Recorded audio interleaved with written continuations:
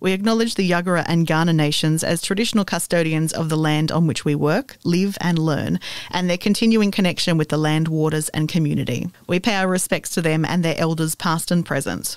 All content related to this program is for general informational purposes only and contains stories and discussion around mental health that may be disturbing to some listeners. If you are concerned about yourself or someone you know, please seek professional and individual advice and support. More details are contained in our show notes. It's 8.15. Traffic is heavy on the northern approach to the city, so watch out for those bottlenecks as you enter the CBD. As promised, we've got Deflector with us this morning to tell us about the new film Captain Camouflage and the Shield of Invisibility. Welcome, Deflector. Thanks, great to be here. Oops, we still need to calibrate. In case you hadn't guessed, we've got Deflector wired up to our trusty lie detector for a bit of fun this morning while we have a chat about the film. Another super release from the Team Generica franchise to take us as far away from reality as possible, and that's never a bad thing, is it? No, not at all. Oh, our little machine's just raring to go. Should we just get going? Sure, let's do this. Whose lie is it anyway? Okay, a couple of questions. First, to warm up. Mm-hmm. Did you have breakfast this morning? Yes. Do you play the lead character in the film Captain Camouflage and the Shield of Invisibility? Yes. Fantastic. Let's play. Did you enjoy making this film? Yeah, I had a ball. Oh, really? Uh, sorry, you didn't enjoy making it. Oh, um, well, you know, there's always moments here and there you think back on and you do differently, you know? Fair enough. It's not always a case of black and white, hey? now, there's been some hot gossip floating around about you and the leading lady. Did you two get it on while filming? no, I can safely say we did not. I guess your wife might have had something to say about that, hey? I'm pretty sure she would. So there was nobody else on set you fancied? Uh, no. Oh, hey! really? No, no, no, really.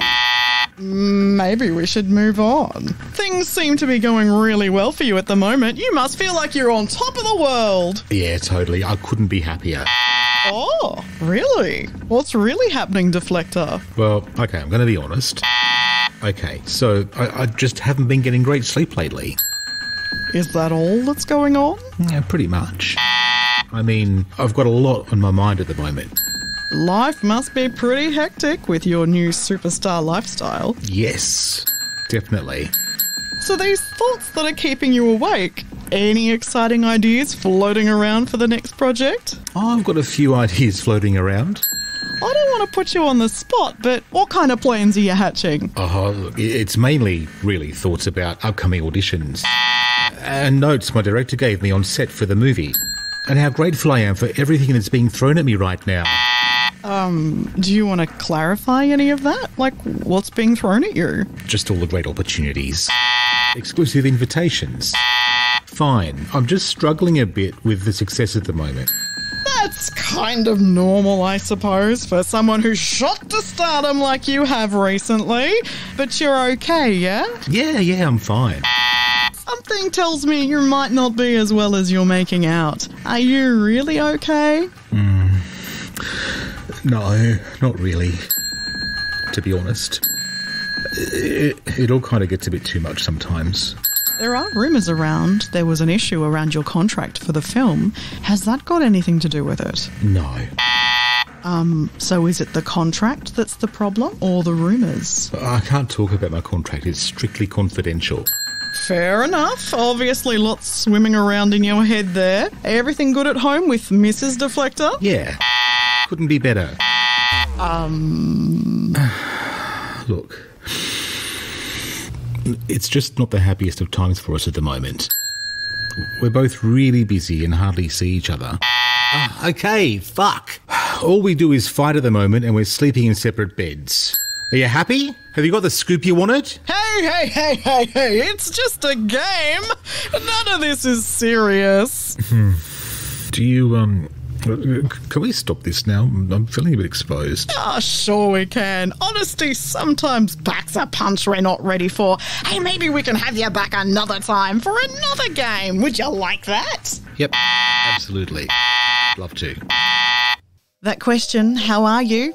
They don't want to know the answer. And chances are we don't actually want to tell them. Hey, Andy, how are you today? This is Reframe of Mind. Hmm. That wasn't an answer. The podcast that cuts through the platitudes and gets to the core of living authentically, challenging our assumptions and improving mental health with the guidance of good science, philosophy, and learning from other people's lived experiences. We're your hosts, Andy Leroy and Louise Poole. No, no, really, how are you? We talk about how you are in this podcast. That's all we've talked about for 13, 12 episodes so far now, Andy. How are you? Yeah, look, you know what? I am good. I am good, thank you. Um, I, as we'll kind of unfurl during this episode, I used to get triggered by certain things that I no longer get triggered by. And if I do get triggered by them, not quite so much or in the quite the same ways. So um, I'm I am good, thank you. How are you? Um, I'm, I'm, I'm good at the moment, actually. I think things are. Are you? Oh, God, the lie detector. Sorry, go on. Have we become human lie detectors in this series? Do you know, I sit down when I sit down with my psychologist every time, every time I've seen her, and I must have seen her like 30, 40 times now. I go in, I sit down, and she's like, How are you? I go, Good, thanks. And then I sit down, and she goes, No, how are you? Ah, And that's what you're paying for.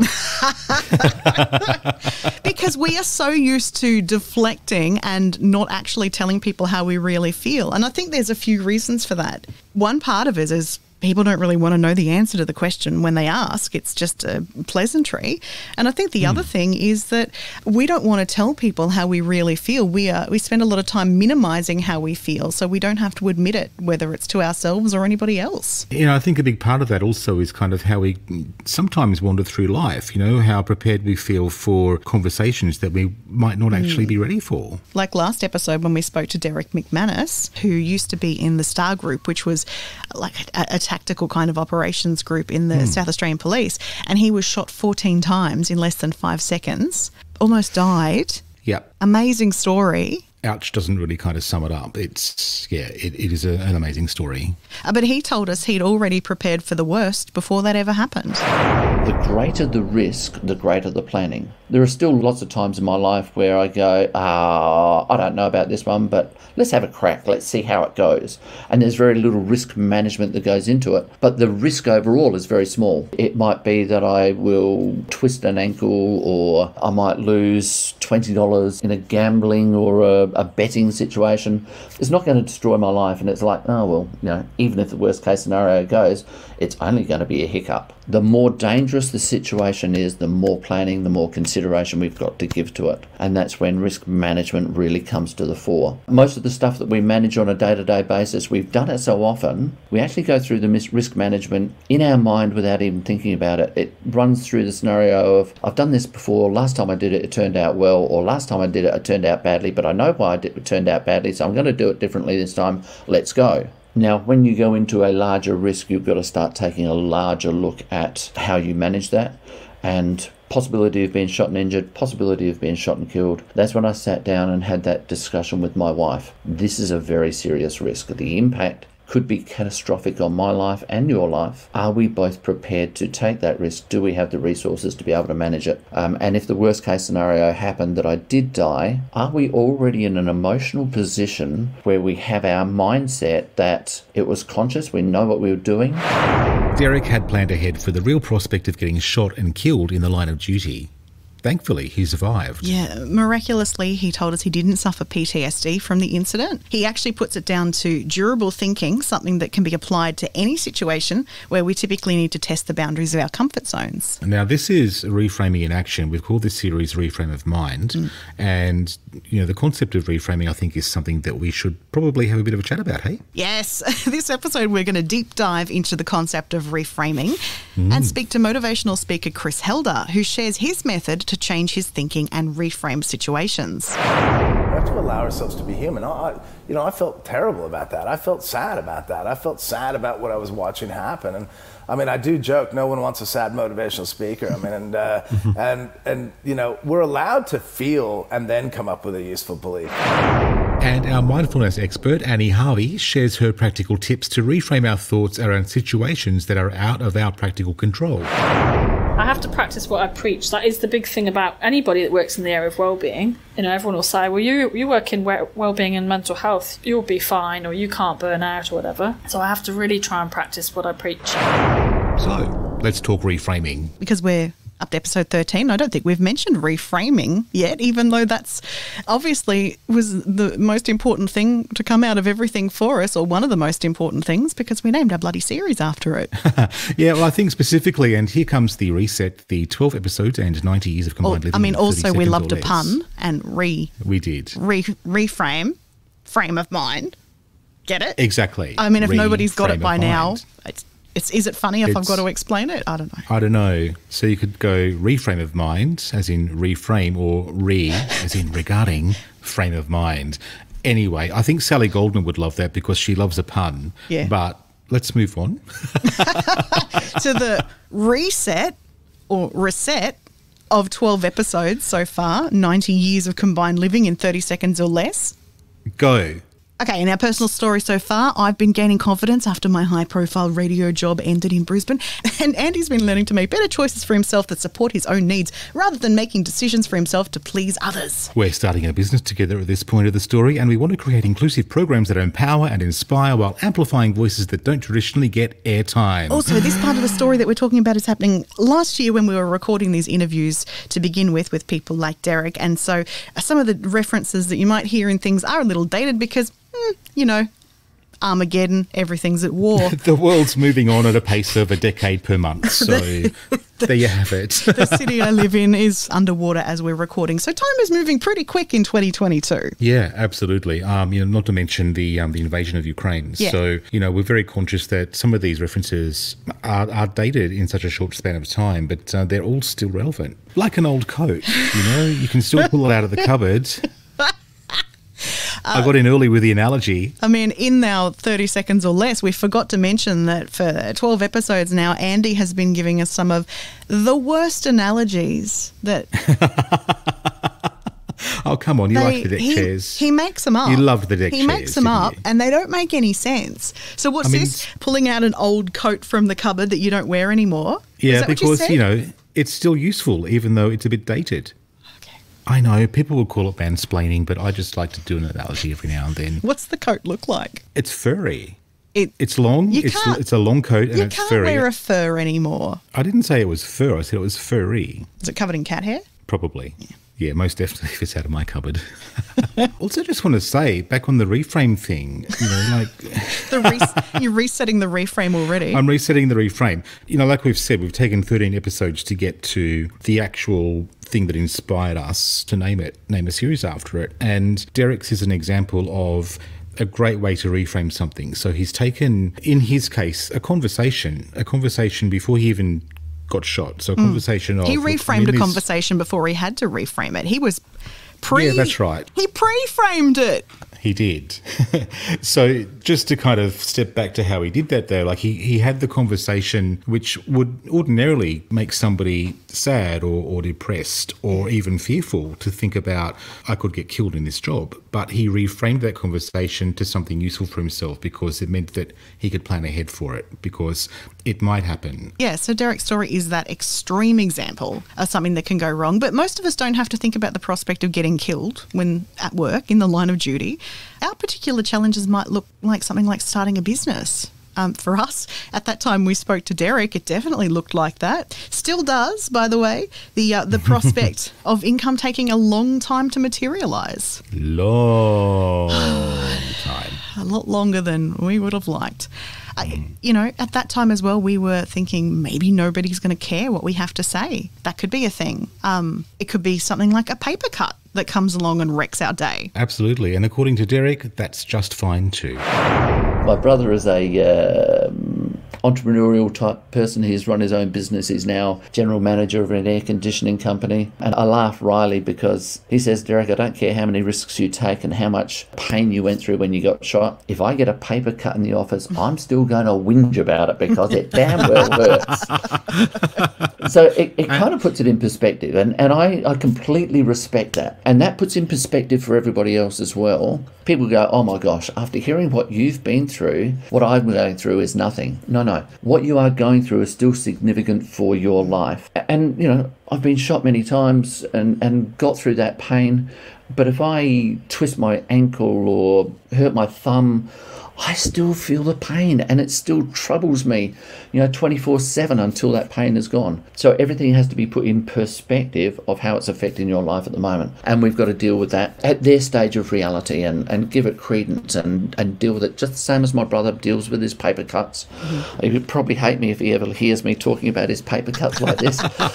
um, but, he, but he very consciously said it and he said it in front of lots of other people because he likes to make fun of me as well. But the reality is, that stolen book for that child is their reality. And the same process has worked for that child, has worked for the fighter pilots, has worked for you and your podcasts, has worked for me and my business now. It, it is a universal thing. So, stepping back 12 months, our worst case scenario has happened. No harp this time? We said we said we're not We- going to throw back to too many premi- We're not going to throw back to too many previous episodes because people might be listening to this the first time. So It could be. we're only allowed one throwback an episode, and we just had it. No more. Fair enough. All right, no more. And to be honest, Harpo has left me, so That's the cat. And again, if they didn't hear the previous episode, they don't know you have a cat called Harpo. there are 12 to choose from. Go back and listen today. and that's how you cross promote. We'll start a bingo card.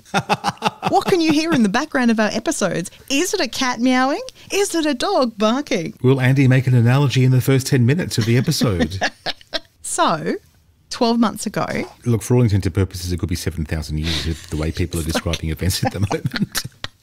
it it feels like uh, it happened in 1970. Um, It does. yeah, it really does. Before either of us were born. we were born. it has been a long 12 months.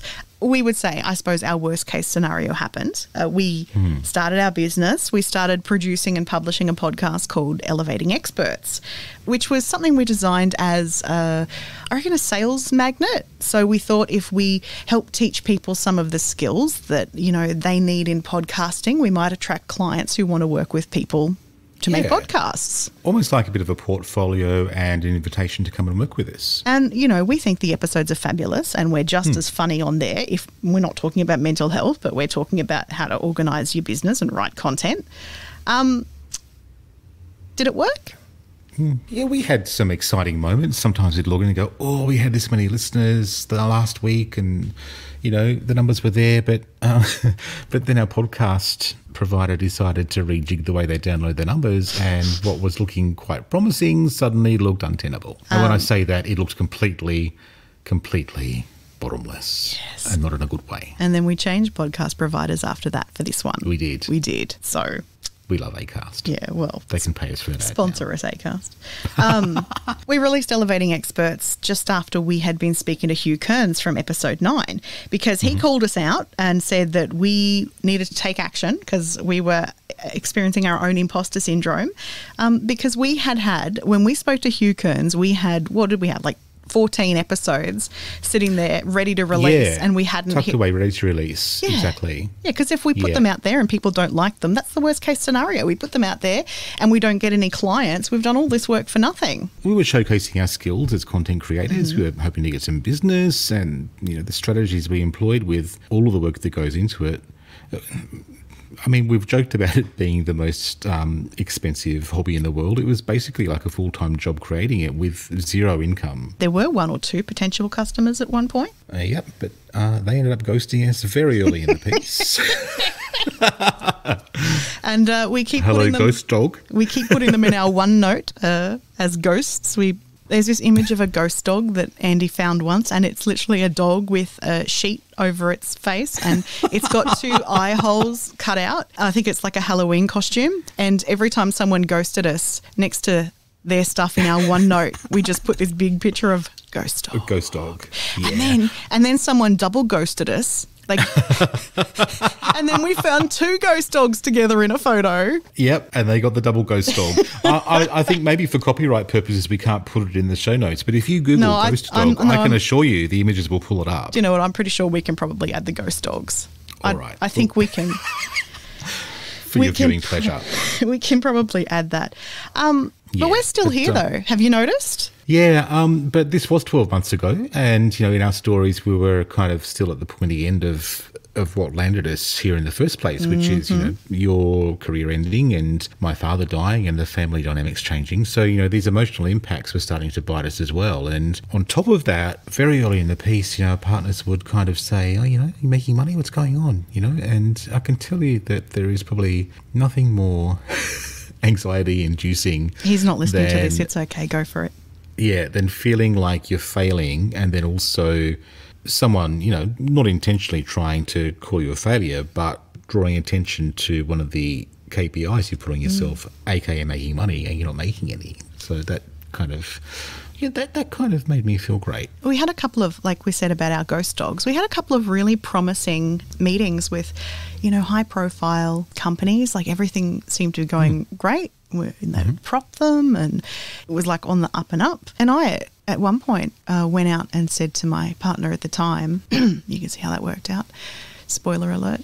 Um, But had- the phrase itself, my partner at the time. had a had a really good day today. You know, we spoke to this person at this business and they're really keen and they, they're getting back to us. Oh, and I really wanted to, you know, talk about it and share that and hmm. celebrate that win that we had, even though it wasn't a, a financial win yet, because it's the it's on the way to the win, you know, you gotta celebrate those. And the first thing he says is, But did you make any money? And hmm. that was really disheartening. And every Yeah. time I tried to bring up the good progress we were making, those questions around money kept coming back. And that really does impact that self worth that you have as a mm. person psychologically because money is so intricately tied to our value. It's pretty hard Yeah. to live in a modern society without it. Yeah, know, money's important, but also we were building something from the ground up based on a technology and also, you know, in podcasting, as popular as it has become, is still very new. And yeah, even now, companies are only just starting to realize the advertising potential through it. And so mm. we're working at that flashpoint of innovation as far as communication is concerned. You know, we're not denying that money is important. Uh, we'd be the last people to say that. But, you know, and again, it's not some kind of toxic positivity angle that's saying something to the effect of, you know, money isn't everything, just enjoy life. Yes, because tell that to the person whose ability to pay for even the most basic of things has run dry. You know, this is about how we're still tying our identity at that point of time 12 months ago to what we did and the money we made from it.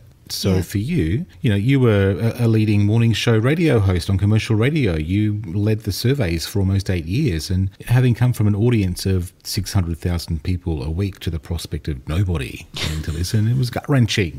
It was really hard. I was there. Yes, yes. I mean, ugh, God, that was that it was such a that was a really prominent fear of mine that it's, before I even left that job that if I did something else that nobody would care that if I finally dared to make things that weren't hiding behind anybody else's voice and put my values and my heart and all that at the center of what I did that nobody would give a fuck and if nobody cared, then what was my worth and what was my value? If I wasn't getting positive feedback from somebody else, like with radio in the form of ratings or invitations to things, or, you know, people just thinking in general, oh, that's a really cool job, like, or having conversations with me, if that feedback wasn't there anymore, what was my value? Because I had tied my value to the job that I did, the persona that I had. It was all in there. Um, I mean, we didn't have no listeners for Elevating Experts, but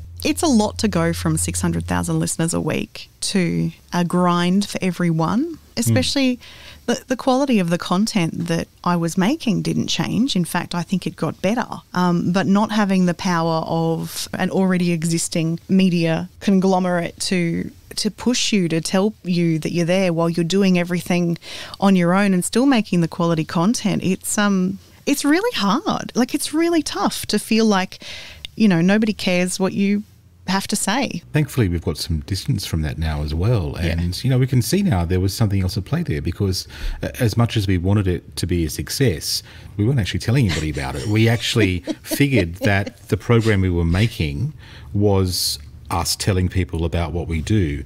But, you know, taking another step back from that, we needed to promote the show. We needed to promote all of that. So, in effect, we needed to do almost this kind of whole push with promoting and marketing and publicity of the podcast, which we anticipated would show people how good we are at what we do to make them want to work with us. We weren't telling anybody about it. So, you know, it sounds pretty dumb on the surface, but, you know, think about all those times that someone might have called you an attention seeker or all those times that you've seen someone on the end of a tall poppy syndrome where they've got their got their comeuppance for having the audacity to have reached the pinnacle of success and actually owned it. When we say we told no one about it, is I mean we told Hugh Kearns about it and then didn't air that interview with him for another twelve months. Um, but- but- okay, but we after we spoke to him, we did release it. I have built a decent Instagram following, you know, and if you're rich in Instagram, it's like you're rich in monopoly money. But there is a good community of people there. And to announce the launch of our Elevating Experts podcast, I did a post. It was one story on my Any Excuse for Fashion account at 9 p.m. at night Yeah. in a badly lit car park that I filmed on the way out of the movies. Um, It's like, oh, that's right, guys. I'm running a business now. Check it out. you know, we weren't we weren't posting. We we No. okay. So that point in the story, we'd started our business. It was already at that stage. I I think about seven or eight months since I'd finished up at the radio. So I did on my other Instagram account have quite a few thousand followers that were really keen on eh, finding out what I was doing, and I've pretty much I've I've dog ghosted that account in the past two years. Maybe you can post a dog ghost up on that feed. I think in two years I've post I, I went from posting like every second day to posting you know six times in the whole year. So And look, you know, to be fair, I think there's other stuff connected to that for you, you know, oh, emotionally oh, well that's back what then we're, as well. That's what know. we're talking. Yeah, there there is that as well. Yeah. So yeah, I mean, look, with all the skills and experience, you know, 20 years in commercial radio, it's really hard to see why 2021 Louise isn't backing herself. You know, was it because she didn't really believe in Welcome Change Media enough? Was it because she didn't believe in herself enough? I mean, do you want the answers on this lie detector? Ah. so, a good example of this is what I call the hockey story. So, in my first commercial radio job um, back in Inverell, it was a town of 10,000 people. So, great place to be a big fish in a small pond. And, you know, being on the local commercial radio, that is big fish in small pond territory. That is- Absolutely. that is huge, big fish in small pond territory. And I was signing up for hockey one day. Uh, I was just joining a social team, mixed team, uh, casual thing. Um, I don't play anymore, by the way. People who play hockey are very aggressive. They kept coming at me with the puck and the and the what is the broken stick. shins, and I'm like, knees, no. that kind of thing. I mean, I enjoyed it, but no, I don't need an injury, thanks. um, Didn't sign up for that. I just wanted to have fun, not have a broken ankle. so when I was signing up for that, the person was taking my registration, and they they were they weren't necessarily rude, but they didn't they didn't give a shit. They were just there doing their job and just like Tick and flick. Yeah. tick and flick. Next. You know, here's anyway. What what's your name, Louise? Ah, what do you do, Louise? She's filling out the form. Oh, I'm a radio announcer. You're a radio announcer. Ooh. Where do you work? Hello. I said, oh, I work for Gem FM, the uh, commercial radio station. oh, you're Louise.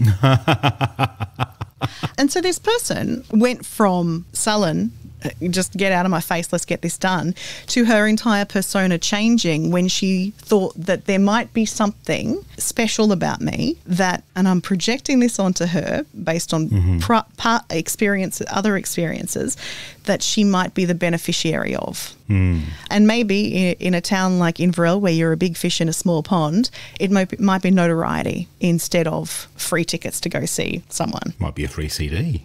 Back in those days, it would have been a free CD. We did still have CD players. That idea of that recognition, that knownness, that was really intrinsically linked up with my sense of self worth.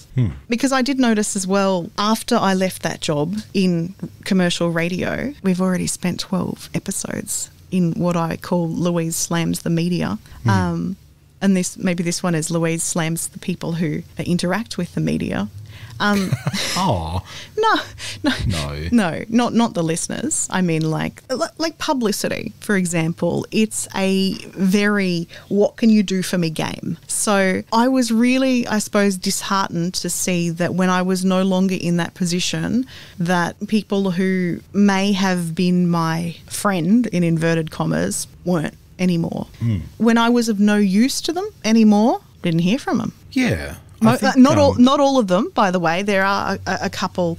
There's one publicist in particular who I think should form a part of a story in another episode because her invite for me to come and do something actually helped me leave the house for the first time in months. But that's how I had tied my value as a person to the job that I did, and why the prospect of nobody caring what I make now um, was rough.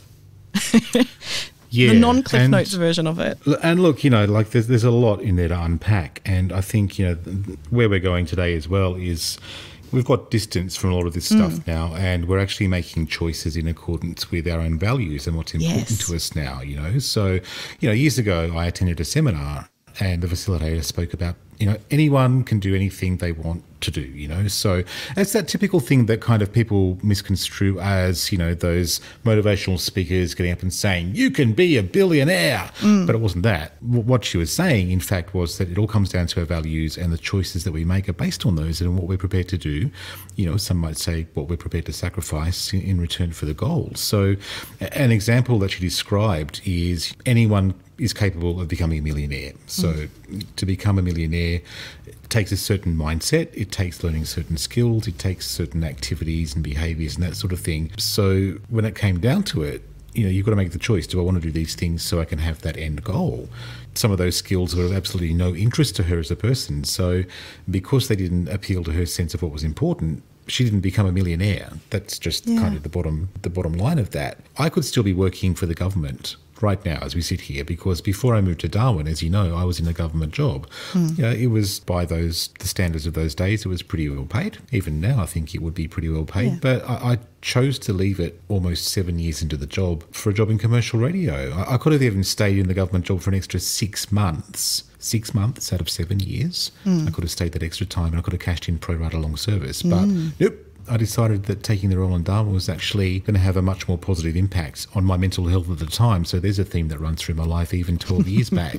It was far more important for me to get out of that job that I was in than to hang around for a bit of extra cash than passing up a you know that opportunity of a lifetime. So when we think about success, I suppose the, the real question is how are we measuring success? Hmm. Because the measurement of success there wasn't the money, it was the way that you felt. I think, you know, if I'd made all of my choices throughout life based on money, I, I could potentially be quite wealthy, but Same. geez, I'd be a different person.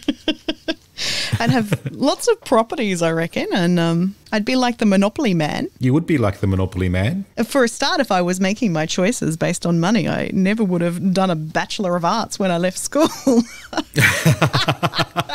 Same. That's the first thing. Let's say, let's do science or medicine or um, law straight up. But Oddly enough, though, you know what, though? Just to step in there for a sec, sorry. Okay. I that goes back to high school, you know, because in high school I remember being very heavily encouraged towards the subjects that would get into the courses at university that would lead to the money. At the younger age, I was actually making those decisions because of money. But then by the time I got a month into my science degree and realised that it actually wasn't for me, it wasn't for me. I decided to do arts instead, and that was a me choice. Yeah, that reminds me of when I was at school. I had a huge interest in, you know, science and physics in particular. You know, when it got to year 11 and 12, I, I did want one of the subjects that I studied to be physics. Couldn't do it because I had to make the choice between to study physics, I had to also study maths B and maths C. And it took out hmm. three subjects. And I also really love music and I wanted to study music and I wanted to study film and television and make things. And so there weren't enough classes to choose from. Like if Not I enough hours in the day. if I if I wanted physics, I had to do three classes to go with that, um, and then I didn't have room for music and film and TV. So I I chose the arts path. I chose that media path instead. Science would have made me a lot more money, I suspect. Maybe, maybe not. we know how that's been defunded of recent years. but I get your point, you know, like, and I would have, I, I probably would have done the opposite because I chose all of those difficult subjects and didn't particularly enjoy them, whereas I would have loved to have done things like music and history. So, kids, choose wisely, follow your heart. I mean, that's just- what Uncle Andy says today. just on my pedestal, just a little on my pedestal here. Um, Yeah. and, and I'm bitching about the education system in 1998 or 97 or whenever it was. You know, all those art subjects that I did, I received at that stage, the grading system was uh, very high achievement, high achievement, credit. And satisfactory, and then fail that kind of stuff. Hmm. I got very high achievements in everything, so that's like your A plus plus stuff. And I know hmm. people who did take the science path and studied chemistry, biology, that kind of stuff, the, the mathses, and they literally failed their subjects, and their OP was the same as mine. Yeah, so there you go. Fuck the government and their non-support of the arts because it's essential for critical thinking and That's for right. expression of creativity. And if we had more people making more art, then we'd have less mental health issues. We would, and we'd probably have quite a lot fewer social issues as well. That's Louise's pedestal for From episode 19, 13. but the thing, okay, 1997 that happened. Has it changed? They're still uh, over not funding the arts. Look Yeah, what well, happened I in mean, the pandemic. Completely, yeah. I mean, sporting gets all of the all of the money. Like you get a lot of money for sport. And I once said to somebody, said, "Yeah, I don't want to speak too too ill of sport," and you know, but and she said, "Well, why not? They get plenty of money." And it's true. It's so true because when you look at, yeah, people talk about, oh, you know, they fund the arts, they fund the opera, and they fund the whatever they're okay so they are a part of the arts and they are also valid but what we're talking about is new ideas and we're talking about people being able to create things in the context of the current world so sure go off and fund your chamber music which is lovely to listen to I do like but chamber also music. Yeah, I do too. I also want society to move forward. I don't want it to be stuck in 1953. I don't want things to be clawed back and for laws to be repealed, which easily happens with the division of society that happens in politics. All the while, they're pumping more and more money into sports and they're anaesthetising the population. This isn't to say that people who watch sports are dumb. No, there's a lot of there's a lot mo- of good stuff that comes from sports. yeah, uh, yeah, there is. And we speak to some sporting people through this series. So I'm not shitting on sports at all. But what I am saying is that it's a mighty big distraction and one that doesn't require people to think too much beyond where's the ball. And have you ever tried to fill in a grant to get money to make something in creative arts? Those things are a nightmare and they're designed to put people off. Yeah, talk about jumping through hoops, hey? It, I mean, I think that last hoop did actually have a ring of fire around it. I'm not going to. It did feel like I was jumping through and getting scorched. There's my analogy for this section. Okay. But look, I think it, you know, just to pull ourselves back Uh, yeah, because with, this has become another of Louise and Andy's fuck the ranty. patriarchy rants. Yeah, totally. I mean, you know, like, so 12 months ago, you could have signed the next routine contract in, in the job and you could have stayed in that job that wasn't bringing you any joy anymore. Just like I could have stayed in that government job back in 2008. We both made, Made different choice. choices for ourselves. Yeah, we could have made different choices for ourselves. We could have followed another pathway. Yeah, and look, and sometimes we feel like we're making a mountain of errors, you know, in pursuit of an income as new business owners, which is right out of our comfort zone. Yep. And, you know, Derrick McManus helped us to really kind of readjust our thinking or reframe our thinking around all of that. Human durability is the ability to go beyond resilience to sustaining optimal performance. A baseline model for this is I have a continuum that starts with fragility, has resilience in the middle, and durability on the other end. Fragility I describe as when we are brand new at doing something, we do it for the first time, we're very young at it, we're fragile because we're we're new, we're inexperienced, we make mistakes, sometimes we break things. And if you ever have somebody starting new with you, or you have a child working with you, we kind of understand it's okay for them to make a mistake, but we're not as generous to ourselves about the mistakes we make. But these people are fragile. Now, with good coaching, mentoring, guidance, which we all need, we are able to take people uh, and we're able to develop ourselves from being fragile new beginners to resilient performers. Now, when we move from fragile to resilience, this is where we go through the stages of learning how to solve problems. Okay, I'm new at this. Uh, boss, how do I fix this problem? Boss, what do I do with this? Partner, what do I do with this? You know, whoever it might be, we're getting that guidance and we learn how to solve problems. And that's what resilience is. Resilience is the ability to bounce back. If something happens, I know how to fix it. I know how to bounce back. And we get really comfortable with ourselves where we go, doesn't matter what's going on. If anything goes wrong, come and talk to me. I know how to fix things. Um, I'm resilient and and it's a very powerful place to be. And it's important to have resilience in our personal stores. But resilient isn't where we really want to be. Because resilient is always bouncing back always having to fix problems. It's waiting for things to happen so that you can bounce back now if you remember there was an explosion in the port of lebanon 3000 kilograms of chemicals exploded and destroyed many of the houses and killed many people the lebanese uh, government and the, the media were saying the lebanese people they are resilient. They'll be able to bounce back. They'll get over this. We'll be able to rebuild. We will be fine. There was one lady that was interviewed, um, and she said, I'm tired of being resilient. I've been resilient all my life. I've been through the wars. I've been through, and now I'm going to have to be resilient. I don't want to be resilient anymore. I just want to be able to enjoy my life. Mm. And that, I think, is where we want to be. And that's what I describe as durability. Durability is where we know that our performance is 100% reliable. Everything we do, we know is going to go well. Everything that happens, it's predictable. It's we know exactly if this happens, I'll be able to see the signs. I'll be able to fix it before it goes wrong. It's where we're really comfortable. And if I make this analogy about these podcasts, when you first started running podcasts, your minds would have been going a thousand miles an hour, going, "Oh my gosh, this is our first one. I hope it all goes right."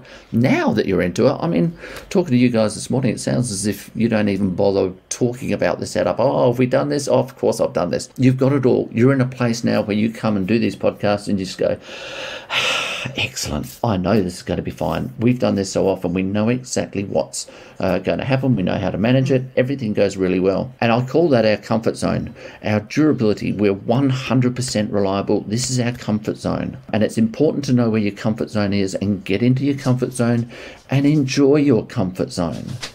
Because once we start enjoying our comfort zone, then we'll start looking around and going, I'm really comfortable. I'm not challenged. I want a new challenge. And that's when we'll take a leap from there and we will take on a new challenge. One of the important things about knowing where your comfort zone is is that if you take a leap of faith and you take on a challenge and you crash and burn, many people burn back down to their basics. And we all know the term, you know, if things start going wrong, let's go back to basics. Well, basics is the day that you were fragile the day you started in this. Your place, your comfort zone, you're 100% reliably, reliable. If you crash and burn and you come back to your comfort zone, that's when you start getting your confidence back. Uh, so back to elevating experts. Oh yeah, it's been um, a long um, walk. it's been a, it's been a long walk. Um, I would say gently it was a flop. Yeah it's it's still up there. The content is great. There were listeners. There were people who reached out to us. There were, I think, there are people that we were able to interact with based on that series that have become a part of our journey. But it ha- it, that series itself didn't net us any clients specifically. Yeah, it didn't hit our values. We were we were making something in vain to try and get a result where mm. we didn't consider packing it in though. No, we we wanted to press on because our initial idea when we started out, before I even said, let's make a business, um, it, it, was reframe. It was reframe of mind, the podcast. You know, this is the idea that started the ball rolling in the first place. And you know what Elevating Experts was? It was once we started our business, it was us not believing in our own ability to put our own ideas, like reframe of mind, out there and have mm. it hmm. be successful. And we thought we needed a backup to generate income in a way that was maybe more of that traditional model. I think we weren't emotionally invested in it because it was just more of what we would already living, what we'd yeah. lived before. It was another version of what we'd already done. Yeah. to be honest, you know, like when we when we take. Except there was no money. Um, so we took a good hard look at ourselves as. Uh, one of your relatives told you to do before we started mm-hmm. the business in an angry mm-hmm. kind of way. Yeah. So elevating There's a story coming up. uh, yeah, elevating experts was something we made to try and make the money. We were basing our actions on what we felt like we had to do to fit other people's expectations and some of those expectations from other people, from society, that we picked up and were living as our beliefs. And, you know, it's this program, Reframe of Mind, that is our passion. And there was a sense that, you know, we feel that Elevating Experts was the moneymaker, like you've said you know, recently for our passion project, but it was the passion project that we intended to make work from the start. This was the program that fully aligns with our values and always felt good to work on compared to oh, days of making social media content and scheduling it up for our golden goose. That wasn't laying any eggs. And it all just started to feel like that old workday grind. Mmm, yuck. But thinking back to Derrick's story and the theory around that continuum from fragility to durability, at that time with Elevating Experts, we realised that we actually weren't in a place of fragility. We weren't mm. ready to pack in the business, you know, we just needed to change direction. We were in a place where we could reassess and just try a different approach, get back into that comfort zone for us, create that content, which is where our power comes from, then become durable and, and, and try other things. That's the business though. Personally, yeah. some things oh. were a little ah. fragile. some things were a bit fragile, yeah, 12 months ago. um, okay, so for anyone who hasn't caught up yet, my journey with this mental health podcast is after my dad died, I say in fairly glossy terms, the family dynamics changed and blah, blah, blah, blah, blah. Was this in the 30 second recap? Would we need an a, a amendment to the 30 second recap? I don't know. Maybe we need a recap for the recap at this stage. Wasn't fragile when it came to the elevating experts flopping was definitely fragile when I received something in the mail from a relative. Yeah. Um, and the relative related to this one who had told me, you know, in no uncertain terms to, to back off, to go away, that, you know, if I caused trouble, uh, what fucking trouble was I going to cause? Anyway, if I caused trouble, they would tell me exactly what my now deceased parents and grandmother really thought of me and my lifestyle. Don't use our kids as pawns. Don't even think of that. All, all that kind of stuff that really you hear on fucking Today Tonight or a current affair. You know, it's one of those. I was thinking Jerry stupid. Springer actually. Well, no, Jerry Springer would be like the episode where I'm sitting on stage and Jerry says, "We've got a surprise guest for you," and they come out with their cutlery. well, cutlery. I mean, okay, so context context, context of cutlery. So context because, of cutlery. Because no one so. yet knows why we've been calling this person Cutlery Woman for the better part of a year as yeah. her nickname. Okay, so so here's here's my story of shame and here's my story of um, anxiety around the death of my father. And you would think that it would be bad enough that my father died, but when my father died, he was in Sydney, where I grew up. I was in Adelaide. I was there when he passed away, and I'm very grateful to have been with him in that moment. But also, the pandemic was just hitting, and all of those rules around funerals, we couldn't have, you know, X amount of people and all that kind of stuff that was going on with funerals. My partner couldn't come into state to support me through the funeral and through you know that time of initial initial grief and loss. Yeah. So you know you can imagine I wasn't necessarily in the best of best fragile, of states. Fragile, fragility, fragile then. Definitely yeah. fragility. So my shame around this is that as his son, I had to leave other family members to settle the estate, to mm. tidy up the house, do all that yeah. kind of stuff related to preparing it for sales. So I felt really bad about that, you know. I can't change the fact that all of those circumstances contributed to to how it how it was. Anyhow, not long after I'd left, you know, a relative pops on and basically says on social media what a great job the other relatives are doing oh, in cleaning up the house. Passive aggressive. Passive aggressive. Passive aggression comes out. You know, I don't deny they were doing a great job, but it was literally a matter of probably not even a week after I'd left. So, you know, I took an action to just cut them off from social media because we never interacted on social media anyway. So there was really nothing to be had there. Yeah. I guess to shortcut the story is that I think the flashpoint was really when, you know, they found out that they'd been unfriended, even though we never communicated mm-hmm. on social media. Then the thing came in about, you know, you're this, you're that, and all of that kind of stuff. So anyway, it wasn't a very nice time. Pretty triggering for me to think about it, much less receive a lovely package in the mail, which consisted of a baby fork and a baby spoon saying, Andrew, I believe these are yours. So, and, you know, then the letter went on to, you know, basically saying, I don't know what I've done and can't believe that you're doing this and all of that kind of stuff. So, quite guilt trippy, you know, in my opinion. It is, you know, weaponized love saying, well, you know, look, we're being very good to you. How come you're treating us like this? But there's a whole history of family patterns, which I keep alluding to, which, you know, will unfold during the series, and not to actually condemn anybody who has actually been a part of that, because, you know what, I'm going to put my hand up and say, I'm not above reproach myself. Mm. I did exactly the same sorts of things that I'm talking about with these patterns of behavior, and that's why I'm very intent on not actually identifying anybody, because, you know, I get a sense that it's not just my family this happens in, I get a sense that it happens in friendship circles, in other families in workplaces. I think this is a pattern of behaviours that's endemic in our society. And I don't even know whether it's a an Australian cultural thing or if it's I don't know. You know what I mean? Like it, I can think for days about that. But what it comes back to is that at that time when I received that letter, I was really triggered. You remember? You were yeah, there. Yeah, you, know, were. I you, you that was one of the most upset days I've seen you on the on the Teams calls. You, I could tell you you got it and you read it and you tried to play it off like it didn't matter, and then I could It just mattered. it mattered. You're like, no, no, let's let's let's get back to it. Let's get back to this thing that we're doing, and I could just, I could see it kept, was eating away at your mind, and th- then we had to talk about it and then we had we therapy had Monday. You know, then we had maybe that was the first therapy Monday. Maybe that was the turning point where we decided to put um, our mental health at the heart of the business because. If, if we be. if we were in any other job that we had had previously, if something Yeah. like that had happened, and you know we had these self-imposed deadlines we were trying to meet to get things happening, we would have just gone, "Oh, just deal with that later. It doesn't it doesn't matter. It doesn't affect.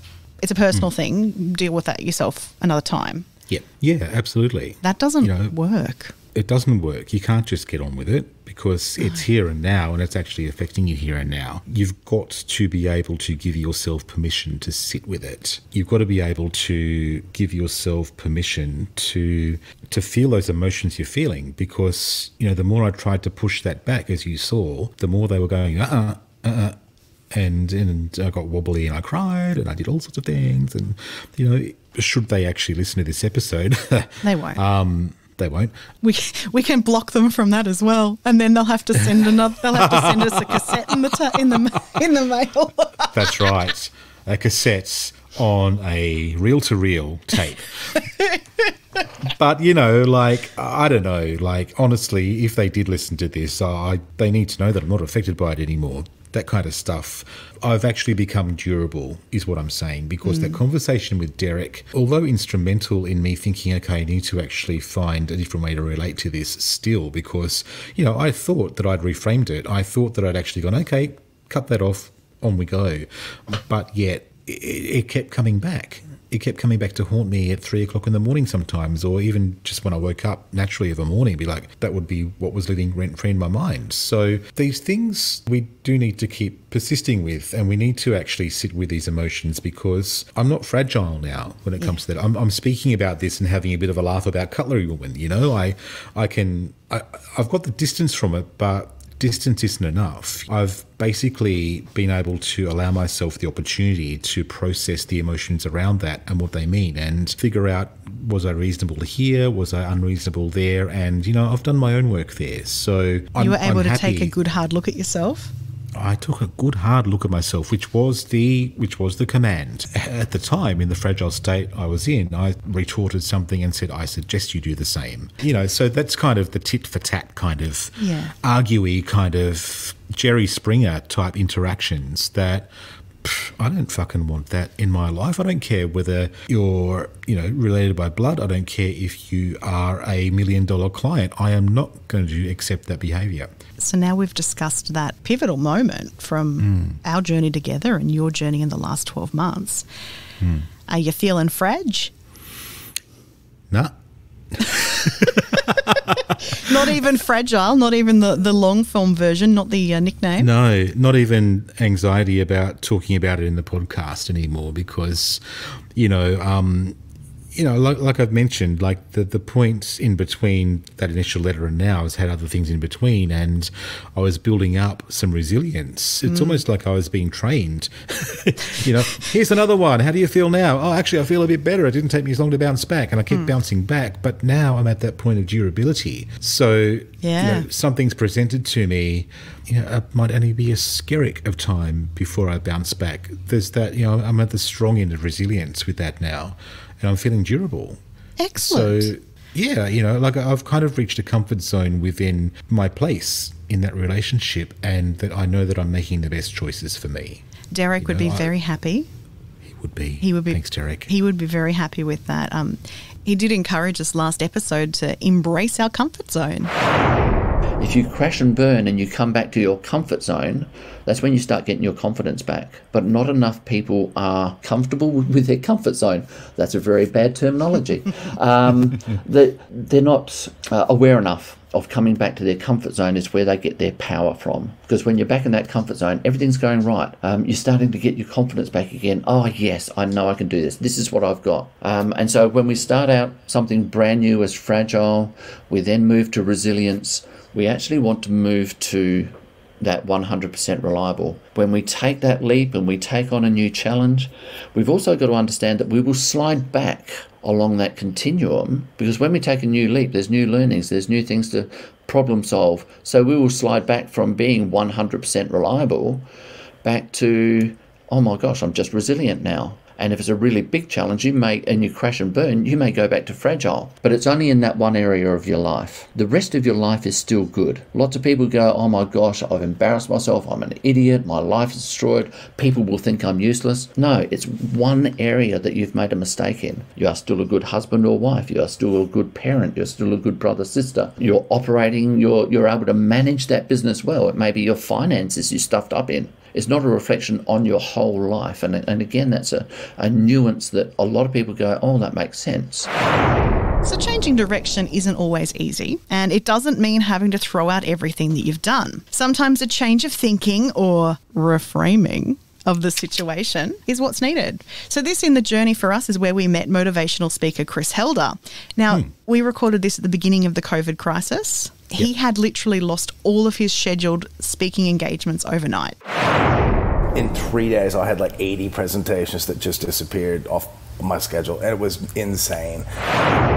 Chris Helder, based in Sydney, is a motivational speaker whose focus is on business communication. You know how you go to those seminars and they bring in a keynote speaker and he gears you up and gets you ready to face the world? That's Yeah. that's what Chris Helder does. Boom! That's his catchphrase. Boom. Yeah. Um, yeah, I think he probably has helped a lot of people worldwide to communicate with their clients and their customers and their colleagues and their teams by, you know, teaching them some of his philosophies. Yeah, I mean, he's been doing this for, you know, almost 20 years now, mm-hmm. and he's had over two and a half thousand presentations worldwide, so he's not new at the game. So when we spoke to him, we wanted to chat about his philosophy for life that he's written a book around, um, useful belief, which is something that he believes can be used for anyone dealing with adversity and has the potential to open up possibilities and unlock opportunities for us. My idea of reframe is uh, this idea of useful belief, and I, I suppose as a speaker have gotten to be known for useful belief. And what's the difference between that and, as you say, toxic positivity? The studies out there really show that positive thinking, you know, is a band-aid and it doesn't work. In fact, the studies show when you lay in bed in the morning and, and try to be positive that you uh, you're like, come on, Chris, just be positive today. You can do it. That by 10 o'clock, when something bad happens or something, you know, devastating happens, that it's very easy all of a sudden. That studies show you actually feel worse about yourself than when you started. So you, you know, and you're like, gosh, I can't even do positive well, and I tried to do positive, and really positive thinking and negative thinking are emotive thinking. And my idea of useful belief and what really separates it is, is, is it's not emotive thinking, it's practical thinking. It's what's the most useful thing for me to believe in this situation? What's the most useful action for me to take in this situation based on the reality that I'm facing? So, how do you get to finding that useful belief? Like, say, that example of waking up in the morning. How, when you're waking up, what are you reaching for? I would say, Louise, the simplest way to look at it is this. If it's raining outside, it's raining outside and you walk outside and you now are dealing with a reality of rain. So, you know, we now have a choice to go, I'm going to try to be positive about the fact that the traffic's going to be worse, and I'm going to try to be positive, or, or I'm going to be negative, which is emotive thinking. But the simplest thing is, it's, it's, you can't say it's not raining. That's called denial. We all have bad things that happen to us, and we all have realities of our life. And, uh, well, geez, we certainly have seen a lot of that in the last 12 months. So you can't deny that it is raining. Instead, you say, you know what? It is raining. What's my most useful belief about the next 10 minutes?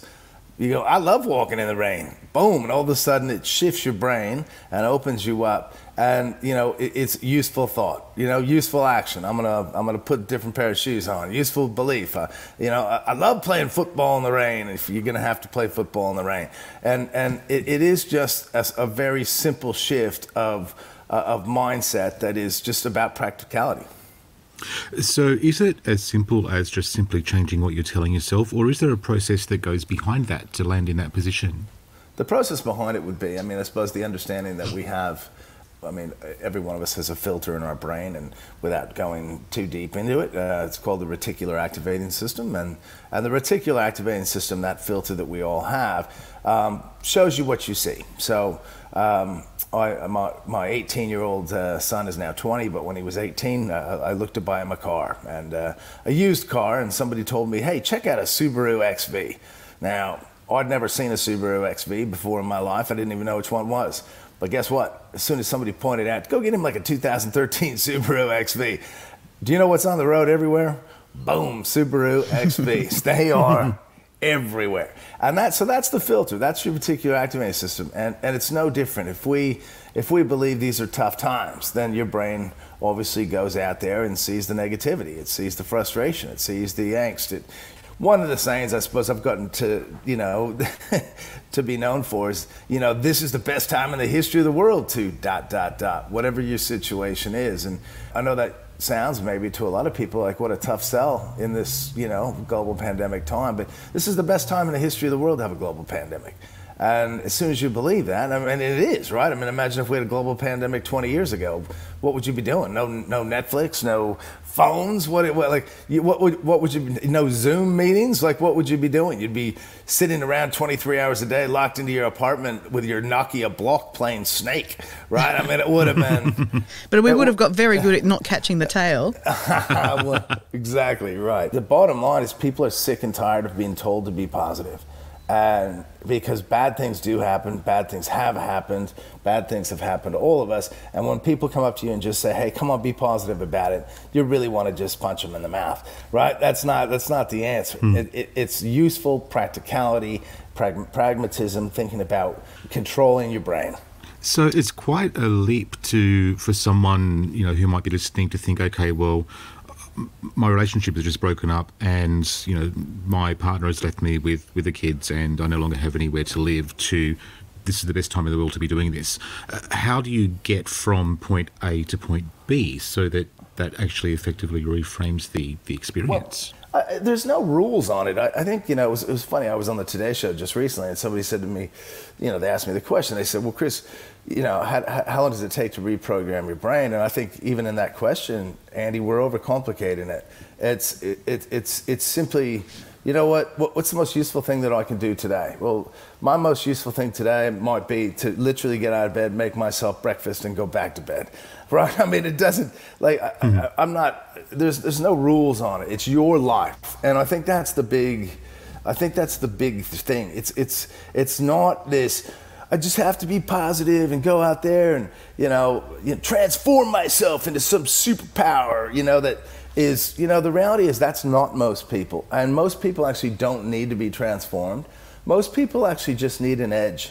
Most people just need a, a, a conscious thought in their day to go, okay, hang on. What's my most useful response to what my boss just said to me? What's my most useful situation? I'm going to do a little circuit breaker here and say thanks for listening to us. If you love the show, let us know. Hit the subscribe button on your podcast app and show us those five star ratings. Remember to tell your friends about us and check our Patreon page for access to even more content, like extended interviews at patreon.com forward slash reframe of mind. The more people we get talking about mental health, the more supported we'll all be. Okay, so that's Chris Helder, and if you've listened to episode eleven, no judgment if you haven't. I mean, you're familiar judgment. with Annie. A We just judgment. we just told you that we needed listeners. So like, I mean, We if- do. Come on. There you go. Come go on, back please. and listen and hit follow. Um, but if you've listened to episode 11, you'd be familiar with Annie Harvey, who is our mindfulness expert. stopping the cycle of stress. Taking care is the T, which is around your relationships and depleting activities and that kind of thing. Inhale is your mindfulness. The first L is called listen. So I talk about listening to your values and your strengths, your character strengths. So even though you might have certain things going on in your life, can you align your goals in your daily life with your what's important to you, what what you want to show up for in life? And I didn't I didn't know what my values were at the age of 50. Someone asked me on a training course and I couldn't answer the question. So I went down that kind of rabbit hole studying that. And then the last part is laughter. So Annie's book, The Still Effect, available now. Just check the link in the show notes. Oh, you do that wanky radio voice. Well, got a lot of experience being wanky radio announcer. Seen a lot of them around that I can model my behaviour off. I'm sure you have. um, Annie Harvey, she chatted to us about the prospect of reframing situations that are out of our direct control. I wonder if we can reframe any kind of inconvenience of being with other people in cars and situations that are out of our control. Maybe getting caught in a commute or something like that. Yeah, so that's um, so I, I wrote a book about this because when I did my TEDx talk, people said, "Oh, that's a, the still effect's really great. Is there a book about it?" And I was in my fiftieth year saying yes to everything. So I wanted to do fifty new things, but I didn't have a bucket list, so I just said yes to everything. So I said yes, there's a book, and then it was suddenly, well, how am I going to write this book? I can't write a book about just ten minutes or something I've just talked about. So I was, you know, discovered that a lot of my friends didn't want to learn the formal practice of meditation, but they wanted to learn how to be calmer. That's originally how they. So I wrote this book for 30 things that you can do in your day without meditating. So one of them, going back to the commuting, is what to do at a red traffic light. So, you know, we might be late for work and we there'd be a situation where we can't control when that light changes or how many cars go through at the light change. So, can you sit and just really I guess go to your senses. So notice yourself sitting in the car, notice your steering wheel, look around, spot some colours, maybe notice the colours of the traffic lights, and then it changes and you move on. So it's a matter of seconds or minutes, and there are little little check-in moments, I guess, in the day that people can use. And Chris Helder was forced into a position of having to test his own theory because when COVID 19 entered our consciousness, he needed to pivot his business, requiring a reframe in his approach. So, the last uh, 12 months or so uh, with COVID 19, I mean, you speak about having 200 odd gigs in a year. They all, I imagine, dried up overnight. And if your main job is going out and being able to connect with people in person, that also dried up overnight. For a Tough year to be a motivational speaker, Louise. it's the best time in the world to be a motivational speaker. That's what I'm talking about, and, and we can let's you finish your set- question. No, I, uh, yeah. So I, I'll- wa- I'll- I, I'll- I, I was going with. So you must have reframed that because you would have found that it is the best time in the world to be a motivational speaker. So how did you take that situation and you know what's the steps of working through that for you to reframe that to this is going to work out for me I'm really glad you asked that question because I think it leads us to that next piece that is just so important, and that is we are human. And you know, I had actually I, I did a presentation in Adelaide, and I literally I, I remember walking into the Qantas Club in Adelaide, and I looked up, and, and the National Basketball Association had canceled their season. It was March 13, 2020. Uh, anyway, that, that was just the moment I knew because I think before that we were like, oh, it might be SARS, it might be, you know, we're starting to give each other a little elbow here and there, but but the, but that was it, and I knew, and, and I think it was something like no, in three days I had like 80 presentations that just disappeared off my schedule, and it was insane, and the reason I think it's such a great question you asked me is I think first of all let's let's not not allow ourselves to be human too. You know, um, we have to allow ourselves to be human. I, I- you know, I felt terrible about that. I felt sad about that. I felt sad about what I was watching happen. And I mean, I do joke. No one wants a sad motivational speaker. I mean, and uh, and and you know, we're allowed to feel and then come up with a useful belief. As part of a process. And I know, you know, Andy asked me about process. I mean, we are allowed just to go, hang on, what just happened is devastating. And as I said before, bad things happen to good people. And forget my situation. Obviously, what, what happened across the world has been devastating to, to so many. But I did have a couple of weeks that I really didn't know what to do. And I was um, feeling sad about it. And uh, I do joke that I people would come up to me and go, Well, Chris, why don't you go read your own book? Are you feeling sad, are you? Why don't you go give yourself a motivational talk, right? And, um, you know, so it is, it is um, I think there was a lot. It is the best time in the history of the world to be a motivational speaker because, I mean, I think it forced me to really shift as well. And, and obviously, we figured out how to do virtual. And, you know, I did 81 virtual presentations and you know, I think for the year. And I, you know, I had one day I talked to the National Hockey League in Canada in the morning, and I came back in the afternoon and did a conference in Beijing for Prudential. And I literally finished up that afternoon talking to six real estate agents in Western Sydney. I think they'd been drinking, uh, you know. And I had this incredible day where I like went from Toronto to Beijing to Western Sydney, and you know, just it was it was actually interesting. I had someone say to me, you know, through this time Chris, you're going to be able to help people, and it may not be as much fun for you, but you're going to be able to help more people probably than ever before, but who are in real pain. It's not like just doing a conference on the Gold Coast where people are in the middle of a party, right? Where they're like, hey, we're going golfing after this, or you know, yeah, we get, you know, we've we got a masquerade party after this at this conference. You know, th- these are a lot of times people that are sitting in their apartments who are lonely and sad and and they are feeling those negative things and they're not in a useful frame. And, you know, I think to really say, yeah, Andy, this is the best time in the history of the world to be a motivational speaker, just purely because of the impact. You know, the impact and the feedback and the emails and the, you know, did I enjoy it as much? You know, I mean, you know, I love the stage and I love the live audience and I love the energy you get back from a real situation. I love all those things. They just weren't real, right? I mean, it just wasn't possible. So if it's not possible, you put your best face on it. What's the most useful belief about the situation? But having said that, I, um, it has been so fun the last few weeks getting back to you know some some really great live stuff and and that momentum's picking up and um, and the reframe was about really helping people through that time. And, uh, and I think that's even become a stronger value for me mm. on the back of COVID is that, you know, just service to people. I think with that's not just as a speaker. I think every person listening to this, we come into contact with human beings and every day, whether it's dropping your kid off at kindy, let me ask you, did you make that kindy teacher's day better or worse? You know, when you went and filled the car up with petrol at the Coles Express. So there's a guy back there who works in a box all day. Let me ask you, did you make his day better or worse? There's, you know, when you came across a customer, did you make their day better or worse? Like, you know, we all have the ability to serve others and and help them and and help them by, you know, making their day better.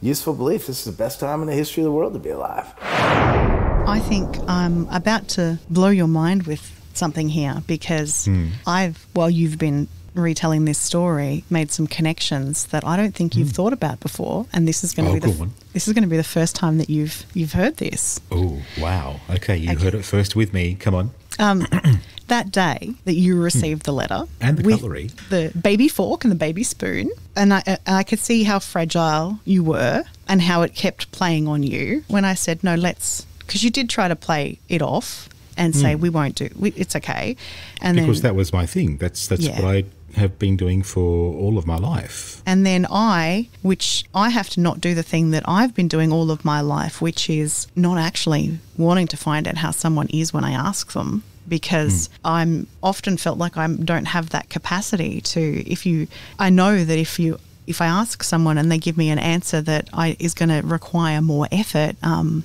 I don't always think I've got the capacity to to listen to that. Like especially with some of the mm. fragile mental states I've been. But in in this thing, I could see how much it was affecting you, and so I've put aside that feeling for me of if I ask him how he really is and I say I don't think you're okay, then he's gonna tell me most likely what it really is and we're both going to have to look at these things that are triggering to us. Um, and so I think I put that aside then and called out your bullshit and said, let's talk about it. A few times I think I had to reassure you that it was okay to talk about it. And it was kind of reassuring me too because, you know, I. I didn't really talk about things. Like, we've come a long way with each other in the last year. And it's like we've, you know, we were friends before this and we talked about things, but not to the extent that we do now. I don't actually think there's really much in the way of any secrets or any subject that would be too taboo to discuss. And as you started to talk about it, the thing that shifted the way you were feeling about it was humour. Hmm. When we started to make fun of it, the thing that struck me is how long was this person angry that, like, they didn't just send you an email. How angry was this person as she wrote a letter angrily, found an envelope angrily, got a stamp for it angrily, walked it down to the cutlery in. post office, added added some cutlery. Like how much anger and resentment do you have to have to fucking bother with any of that over being blocked on fucking Facebook?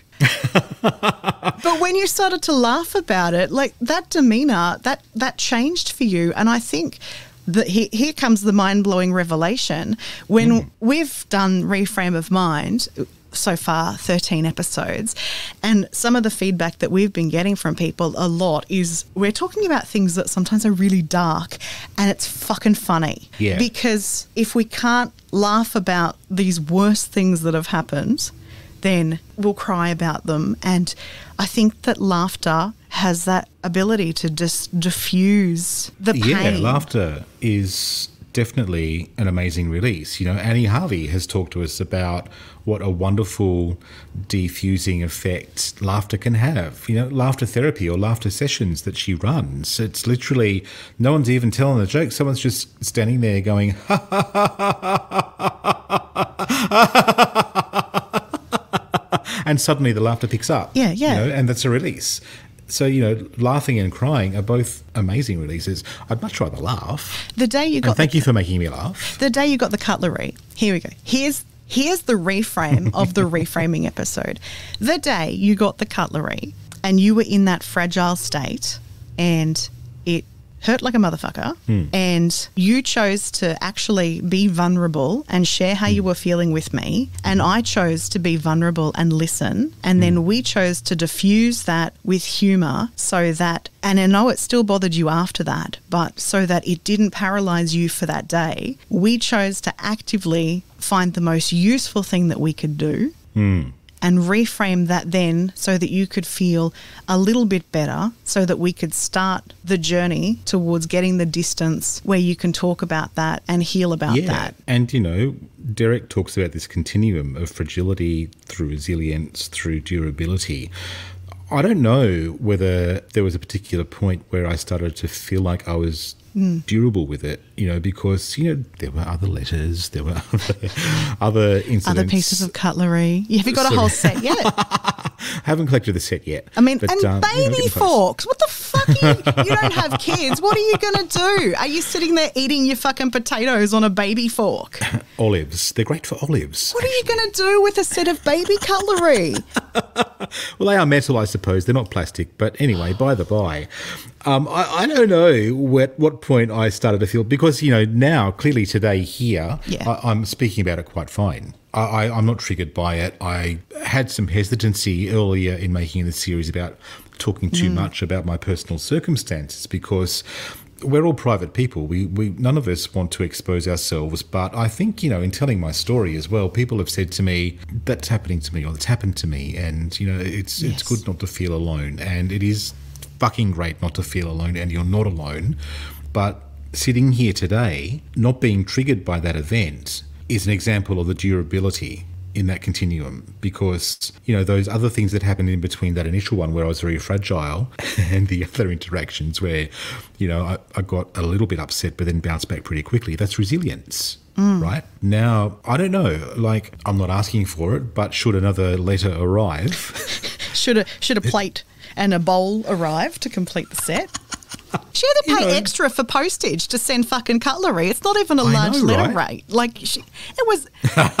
she was so angry. She had to get what a mailing satchel. But you know what? Wasn't important enough to express post. but you know what? Durability is when the Christmas card arrived. I was able to go. The Christmas Eh. card. Well, the Christmas card because the Christmas the card had card. elements of the same patterns. You know, the elements of Was that the one that had photos? No, that was another one. Okay, so I'm going to paraphrase here, and, and the card contained something akin to "Don't know why you're doing this. Hope we can make the family great again." MAGA hat. Get it on a hat. MAGA hat, Yep. yeah, and you know, child X made this Oh, for you. I, I suppose. I mean, it makes sense though that if I've been warned not to use kids as pawns, I, I guess if anyone's going to use kids as pawns, it's going to be the people that that brought them up. I don't know, but all of the kids are adults now. They can make their own choices, and I sincerely hope that the choices they make include busting these patterns that have been going on for generations in our family. I'm not blaming anyone. You know, these are things that we often go about with on autopilot. So when you got to Christmas with that card, did you realise you were durable then? Yeah, I think I did because I looked at it and I read it and I went, huh, filed it away. Why did hmm. I file it away and not throw it away like I did the initial letter? I'm keeping journals and maybe I'll publish a book one day. I don't know. It's It- not it- because I it's want to like the on to it certificate of authenticity for the cutlery, though. So when we Yeah. when we make it big and we can have like an auction somewhere, you could like a Banksy piece. You could buy the original baby fork and spoon with the Christmas card attached. Limited, limited edition, one of one. May or may not have been used by a child. Andy doesn't remember It's because just it, the thing, though. You're right. it probably wasn't even your fork. I don't think it was because I'm sure I've had conversations with people from my family in the past who have gone, oh, yeah, well, you know, mum got these when X was a kid or whatever. I don't think it was even my fucking cutlery. She's on the way to the post office angrily mailing someone else's cutlery. I mean, you know, as far as hobbies go, mailing random pieces of cutlery that may or may not have ever been owned by someone. That's a really good thing that you're in that state. Oh, you remember episode three, Understanding Depression and Anxiety? And we spoke Oh, about, yeah. yeah, so long ago now, 2020 has been so long. Um, Hmm. We spoke about some, for, personally for me, some really dark stuff in there, like, you know, around kind of suicidal ideation and ongoing battles with depression. Um, Hmm. And at the time, something that we said was, we feel like we can talk about this now because we got the distance from it. Mm-hmm. Um, what you're describing there with one day you wake up, I suppose, and realize that that thing that once was a trigger is no longer a trigger. That's a similar feeling for me in that situation. You know, like for a long time hmm. after that, I was really afraid of slipping back into this depression again because when you're on the way up and out of it, you haven't got the distance from it. You're afraid you're going to slide back into it. I also want to add, you know, like, as you say, like some distance has gone on in between there. And I say that it's not distance alone that has, Yeah. I, I believe, contributed to that. That durable state because it's linked to my values, it's linked also to my self worth and my feeling of self worth. And within all of that, like in those in those fragile days when I got upset when I received that initial letter, I was still in a state of, oh look, you know, mum would be so upset that I'm not talking to blah blah blah or blah blah blah or you know all of this kind of stuff And, the you know, shame I- and feeling the that shame sh- the shame that you've spoke about that's it's huge. yeah yeah That is a, that um, is a, a huge emotion that puts so much pressure on us. That is you attacking you. Yeah, completely. So so in between then and now, this this sense of waking up one day and feeling durable, a part of that is me saying to myself, actually, you don't deserve to be treated like that. Mm. This isn't an isolated experience, and you don't need to put up with that. Open bracket anymore, close bracket, but I should never have had to have put up with that. What you're talking about there of realizing that your self worth needed to change, you were worth Yeah. more. You reframed that for yourself. I did, yeah. But was that reframe enough on its own? Did you need to back that up with action, more hmm. work, more tools, instead of you just saying the words to actually feel it, to believe it? Yeah, because you know I've got choices in this. I can go and approach you know these relatives and have it out, as you know people would say. But also, I know that that's not going to change anything. All that's likely to achieve is a flashpoint of some sort, and we'll end back exactly where we were a year ago, or it'll end up with me not honouring my own worth mm-hmm.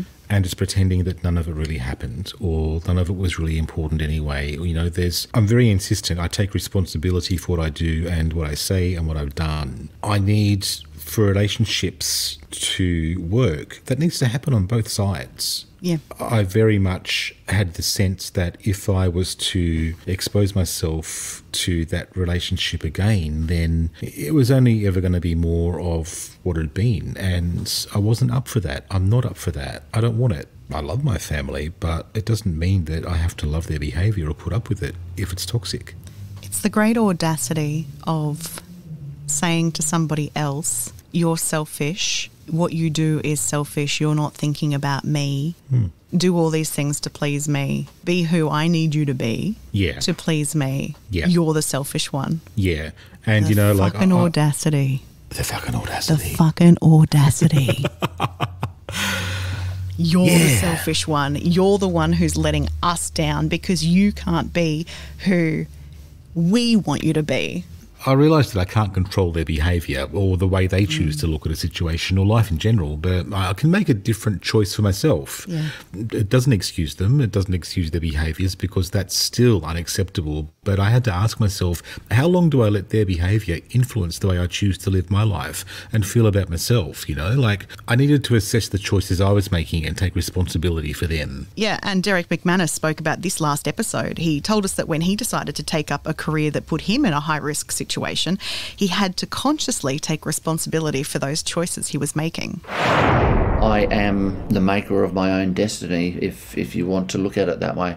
And I still believe that applies to me even now. In my own business of speaking, my raising my children, my driving my car, we all make choices and we need to take responsibility for those choices. Sure, there's a little bit of luck that plays in lots of different things, but the majority of our life is as a result of choices we consciously make or try to not make because sometimes we just try to avoid it or live in denial. But I am very aware that it's, you know, my choices have put me in circumstances where things can happen, good and bad. And that's that's an important one to remember too. Mm. We make choices that have great results, but sometimes people focus only on the negative ones. That philosophy of now that we make our own we make our own destiny, we're the masters of our own choices. Was that because of the incident or was that something that you already had as a life belief before that? definitely a life belief before that. So when I talk about taking responsibility for choices, I went one step further again than what most people do. Being a policeman, everybody knows that we are in situations where we may be shot and injured, we may be shot and killed. Everybody knows that. But very few coppers actually talk about I may be shot and injured, I may be shot and killed with their partners and say, if these things happen, what's our life going to look like? So I put myself in a situation where I may be shot and injured, I may be shot and killed. And so when it did happen, I'd already prepared myself physically, mentally, and emotionally. The emotionally is a very important one. But I prepared myself physically, mentally, and emotionally for the choices that I'd made and the possible consequences of those choices. Okay, so when it comes to people's openness to trying out what some people might quickly jump to label as woo woo, Oh no, we no, no, no, no. I, I have to have to stop you here because Yeah. we have to be clear that even though you're shitting on chamber music, uh huh, which I which I love. we fucking love our woo woo. We're We not. do, we are not. We are not shitting on woo woo at all. We we have we have a spreadsheet, and it has. we have a spreadsheet where we've been keeping our uh, daily and weekly tarot cards that we've Which we need to update soon, actually. that we've pulled out for the last you know year or so to see if we're getting. Anyway, we have a spreadsheet. It's. we, sp- we have a spreadsheet for our tarot card readings. I mean, we love our woo woo, and you know how much I love a spreadsheet. So, The two things together, it's just chef's kiss. channeling the King of Cups as we speak. But Annie Harvey was able to provide some perspective on responses across the different generations of people she works with. Do you find that there are different responses with the different generations that you work with? I'm thinking to a specific example with my own dad. And when he was alive, we tried to get him to meditate. Um, and it was a hard no. But when we suggested maybe he'd like to listen to the relaxation CD, which was basically a meditation CD, he was okay. Absolutely. It's how, I mean, you- you've got to get them to work out what they like. But I thought that would be the case when I first started trying it. And I'd say my youngest client is four, and my oldest is, uh, she's just turned 96 in Brisbane. I teach her online, and she Oh, she's, wow. she's an amazing woman. She's actually a, a nun, so she's obviously done a lot of praying her whole life, but she really wanted to learn mindfulness and meditation. So she's taken to it really, really simply. But I remember trying to get my dad to it- just count to 10 a few years ago, and that was hilarious conversation. he, he counted to 10 in very angrily with lots of anxiety, so that didn't work. so, so yeah, dependent, you know, there's lots of lots of little tricks, but I think they've you know, we've talked about people coming when they're in crisis or in burnout to try and then go and find help. And I think that's why I like the prevention side of it. But We've left it um, too long by then. yeah, but a lot of people that would come to my mindfulness classes are not quite in crisis, but they're not far off. They've probably been told by a psychologist or a doctor to go and learn.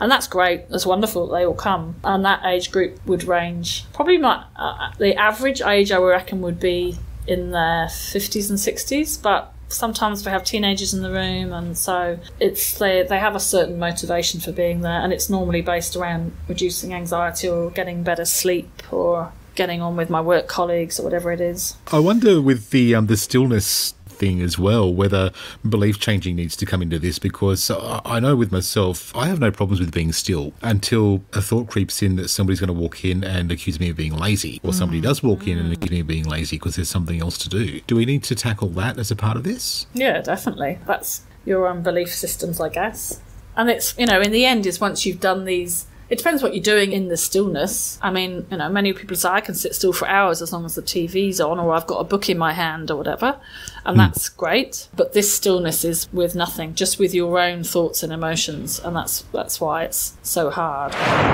Chris Helder has an excellent example to illustrate a simple reframe, explaining how he changed his perspective about loneliness and how we can change our thinking on the matters that are impacting us. I really like one of the examples that you do give about how you come across people sometimes who try to challenge you on being lonely or challenge you on when you're traveling that you, you don't have any company, that type of thing. And your response is invariably, well, I like aloneness. You seem to be able to get across that you actually, it's not about loneliness, it's about enjoying your own company. Is that Yes. something that you've always felt or something that you reframed? Oh, I think that's something I probably reframed. I think uh, I, I, I realized that I, um, you know, travel was to where you know I literally most years would be over 100 nights a year in a hotel, and and, and getting to that reality, 150 odd flights, and I'm going overseas, and, and and you know people would always come up to me and say, "Oh, you must hate that travel. You know, you must hate all that travel," and and um, you know, it's funny how people used to just say that so often, and I'd be like. No, hang on. I could change it. I mean, I live in Melbourne, so I could, or I could change it. I could just do Melbourne gigs, and there'd be no travel.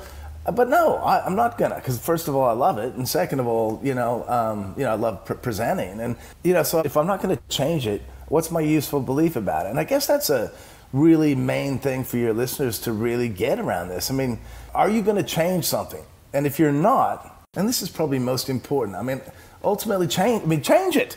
All right, go get yourself a, you know, van. Go go get yourself a wicked van and drive up to Port Douglas and live in the back of a van. Right? I mean, boom, you you could do that. Right? Change it. But if you're not going to change it, and actually, a lot of times, if you can't change it, or people feel they can't change it, or they won't change it, you know, I mean, there's situations where people are like, "No, this is what I'm going to do because this is I've got three kids, and I'm gonna. This is it's not what I want to do, but it is what I'm going to do." So if you're not going to change it, well, then you only got one option if you really want to find the joy in every day, and that's to have a useful belief about it, or change it, all right, or, or be or be miserable, right? So those are your options. So we don't want you to think that Chris's message is one of toxic positivity here. You know how we have a crusade against toxic positivity on Reframe of Mind. Yeah. It's actually about being able to find the most useful belief that we know we can invest ourselves in to help bring about a change we want. Yeah, but what about when we feel like we've got persistent negative Hmm. thoughts? You know, that's not easy to find a useful belief in there, I don't think. You Not know? at all. Um, Annie Harvey has got something to offer on this and some techniques that might help. One of the things you said um, a few minutes ago is that we half of our thoughts um, every day are negative. I've never heard that before. How did? Well, I, I, again, I don't know how they've done it. They yeah, I was going to say, how did they get in there and work that out? 47% apparently. And we have a thing called a negativity bias, and it all goes back to that old part of our brain that's looking for threats, looking for something to go wrong all the time. And it's called negativity bias. And there's a guy called Dr. Rick Hanson who calls our brain Velcro for the negative thoughts and Teflon for the positive. And, you know, quite often if we've had a, a day where someone's told us 99 things that have gone well and one thing that's gone wrong, that's the thing that we're going to sit and lie awake about at night. And here comes me wanting a, an hour's worth of free therapy, Annie. Um, so I have anxiety, an anxiety disorder, and I'm wondering if you have kind of tips and maybe some kind of secret information on how to make meditation easier. Because for me, I find it actually almost impossible to stop. I've found it easier to not meditate, but to do something that requires really low, um, I suppose, low focus, like uh, scribbling or something like that. Yep. But um, help me, Annie, help me. Is it the sitting still, or is it the not knowing what to do with your racing thoughts? Oh, I think it's a bit of both. And you know what? Yeah. I, am not even. I often think is is it is it actually anxiety or do I have something else? But I know that's anxiety talking, um, because I often think it's not that the racing thoughts are necessarily negative. It's just oh look at that, listen to that. Here's this thing going on. What if I think about this, this, this, this, this, this, this? Yeah. Off it goes, and yeah, I and I bounce my legs. Yeah. So, um, I mean, a lot of people me. will say to me, "I can't, I can't meditate because I can't stop my thoughts." And you know, my response to that is, you have about eighty thousand thoughts a day. So the scientists will tell us. I don't know how they've worked that out, but say that's sixty to eighty thousand thoughts a day. And you know, if meditation was going to stop those thoughts, um, I'd be a millionaire and a miracle worker by now. So it's more about noticing patterns of thought. So your anxiety probably will be more about future and you know catastrophizing about what might happen in the future. And then just learning to have a different relationship with those thoughts and being able to just notice them because we all think that we are our thoughts and emotions. And through meditation you learn that it's a bit like standing behind the waterfall. You can start observing them rather than just being in them all the time. Hmm. But it takes a lot of practice. You know, it takes at least eight weeks of sitting still for five or ten minutes every day to actually feel, quite often, feel any benefit. Most people feel benefit in the first few weeks. Eight weeks. It sounds like I've given up too early most of the time. Then A lot of people do, yeah. Yeah. And the, the basic practice is to, if you can sit, I mean, you can do it walking. Um, you can do it lying down. You can do it standing. You don't have to sit. You certainly don't have to sit cross-legged or anything like that. Just I do it lie down and then I fall asleep. Then only four asleep, so do I. I, have to, I have to sit. Um, and the basic practice is to say that you're concentrating. I mean, sometimes if you've got anxiety, even concentrating on your breath makes people more anxious. So, Yeah. you've, you know, I would suggest if you're going to learn, you learn with an expert. But you say you're concentrating on your breath of you just your belly rising and falling, and then you get distracted by. Most often, it will be a negative thought because half of our thoughts are negative each day and you just you might say label it thinking or label it worrying or whatever it is and just labeling it that gives you a little bit of distance from it hmm. and then you come back to your belly rising and falling and you might do that a hundred times in five minutes but but that is actually what's training our brain and changing those neural pathways and i think most people don't recognize that. They just see it. You've got to sit still and quiet and go into some zen zone and stop your thoughts. And that's pretty impossible. I tried to do a, a, a Buddhism one once where they made us sit on these little beanbag things for about 40 minutes. And I think I didn't want to be rude and get up and walk out, but I've, I've never, uh, when it was middle time, uh, tea time in between the two sessions, I've never ran so fast from a place before. I was just there, just listening to the sounds for 40 minutes going, "Oh, I can hear everyone breathe. Yeah. Yeah. Yeah, Yeah, it's really it's really hard. So start off really small. Sit down or stand up for thirty seconds and see if you can just notice your belly rising and falling, and keep coming back to that for thirty seconds. And once you've stood for thirty seconds, you can probably do another thirty seconds. Just build up from that really. But where I when I went to Thailand, I was similar to you. I wasn't sat on a beautiful beanbag. I was sat on a hard wooden floor, and we had wooden beds and wooden pillows to sleep at night. It was only for three days. It felt like three years, but it was only three days. And it was quite funny because I didn't take any um, mosquito repellent with me because I dis- decided that I was in a Buddhist country and I was in a rainforest and that would not be good to take my bottle of DEET with me. But I'm I'm English as you can hear and I have very fair skin and I was covered in mosquito bites within about three hours. And we were sitting meditating for nine hours oh, every day on the floor. Mm. And it's quite a good metaphor for life because I wanted to scratch the itch all the time, which is a great metaphor for the things that frustrate us in life. Hmm. And I learnt to be able to be, to not scratch as much. I mean, I definitely was, but not scratch as much. So, um, but yeah, it was pretty painful experience, but it was also really powerful, and that's what made me want to come back and teach this thing. But for like five minutes a day, not nine hours. I'm happy to leave the nine hour ones to the experts. Yes, definitely. I- I'm guessing with wooden beds being a part of that equation, you're not one of the people who get the pleasure of booking the family holidays very often. Yeah, it was a, it was a, certainly a one off. I won't I'll be doing it quite like that again. So for Chris Helder, how does a motivational speaker motivate himself? We asked him what's in his toolkit. I think it's just that conscious awareness when we catch ourselves say something negative. And one of the funny things is when you're like you write a book like Useful Belief and you've got teenagers and I'll catch myself and I'll say something negative because we're humans. And, and then it's so funny because the kids will look at me and go, well, that's not a very useful belief, is it, Dad? right? And, and, um, and it's it's so funny because you know what happened from the you know when I first started to talk about this idea about ten years ago, and it is funny that I, I somehow put this little voice into it as well. Well, that's not a very useful belief, is it, Chris? And and so it's sort of become this little funny thing, and I'll catch myself and I'll I'll be thinking something negative, and it is just put a little funny voice on it. I don't, I don't know. Well, that's not a very useful it, And and it just sort of does, uh, it, you know, again, a little you know, little reframing again. You can it just lightens the mood a little bit. I have a little smile on my face, and you go from there. So it's uh, it is it isn't hard. I think it's a really simple shift, and and I think it's just a really it's just moving to a place of consciousness, and then there's not a you know it's not right and wrong. It's just what's useful, what what would be a useful way. I got to go to this meeting. I hate this meeting.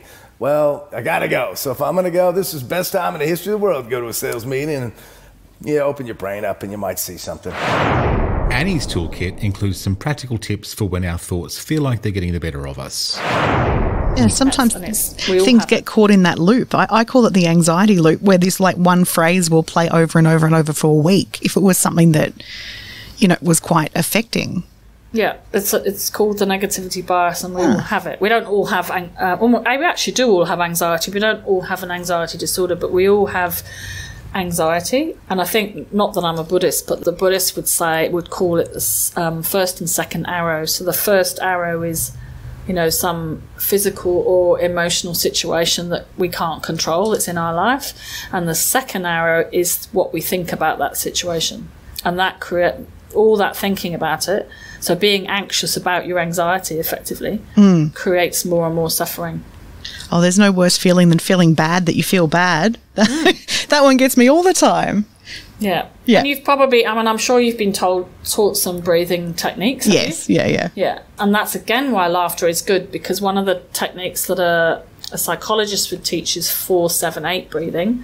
And I, I often, when I'm stressed, I don't remember the middle number. So I remember the, the four and the eight or the double breathing. So you're exhaling for lo- twice as long as you're inhaling, and it could be three, six, five, ten. It doesn't really matter, and that's hacking into our nervous system and turning off our stress response.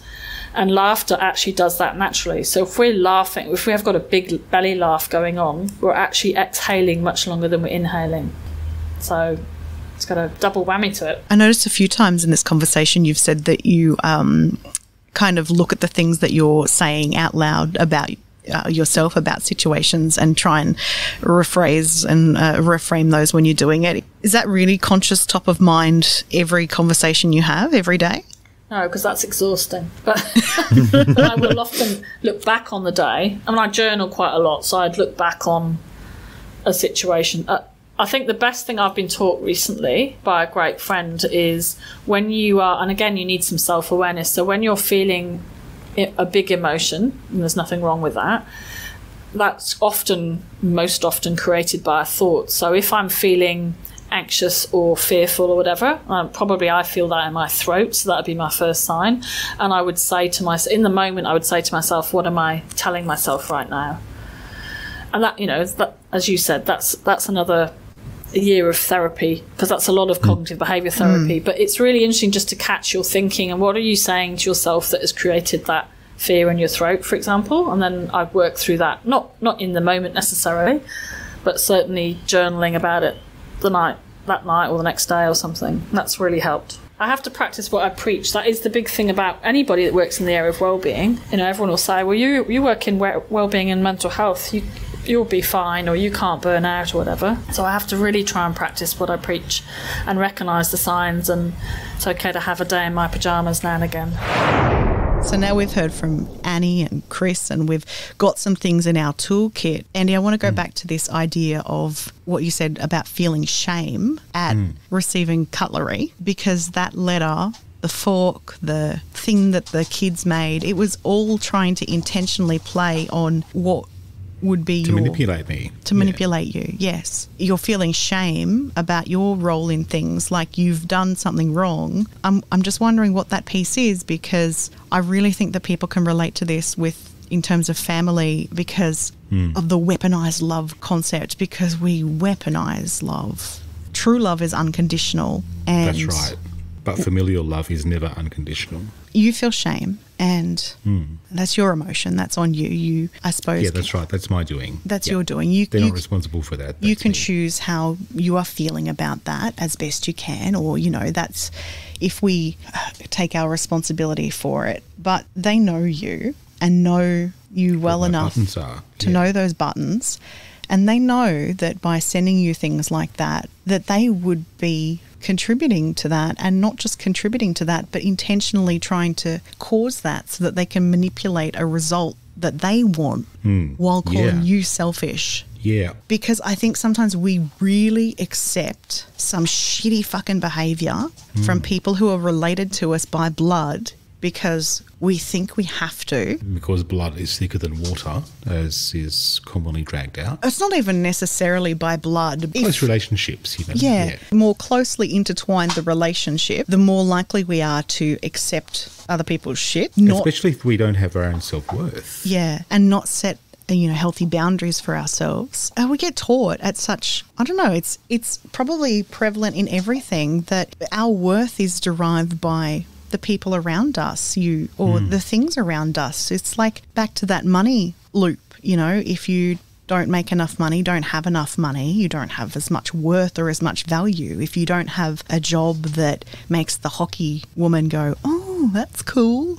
You're just you're treated like everyday scum. We have these relationships with people so that we can, it's like, what can we get from you? What value do you offer us? And so we think that we're worthless hmm. if we don't offer somebody else value. I think to come back to that shame thing is that we're probably conditioned as a society that if we no longer offer somebody value, then there's something wrong with us and it's our fault. You know, there, there's certainly that, and I- I've kind of had a, a lot of time, obviously, to think about my relationship to that as well. And, you know, I've come to the place I'm currently at with that. And also, you know, I, I talk about these family dynamics, and clearly there's still more to the story because, you know, if I talk about a shift in dynamics, it's not just someone saying to me, you know, I'm going to really tell you what everybody thought, but it's about you know the the change in the nature of relationships between you know family members and that sort of stuff that really kind of knocked me for six after the history of those relationships, particularly. So amidst all of that is an element of manipulation mm-hmm. as well with these sorts of situations because if you know somebody so well.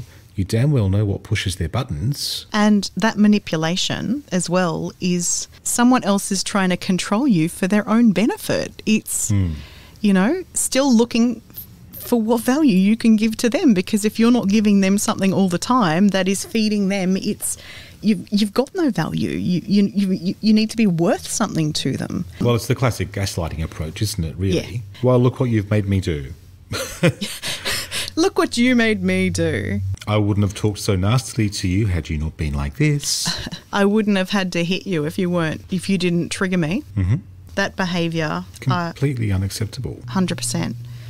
But at what point do we reflect on ourselves and, you know, patterns? We, we, we have been talking about patterns, you know, some of these patterns existed in your family for a long time that, you know, I don't think that when kids are born, they're, they're not born hating somebody. They No. pick up ho- hateful beliefs from the people around them, you know. People kids aren't born racists, are they? Like they don't pop out like No, that. exactly. Um, we learn that stuff. we're all the victims of the conditioning that's come before us. But we also have the chance to change it. Yeah, we can all be the end in the chain, Well, I certainly am. the end of the family branch, as I've heard from a few episodes.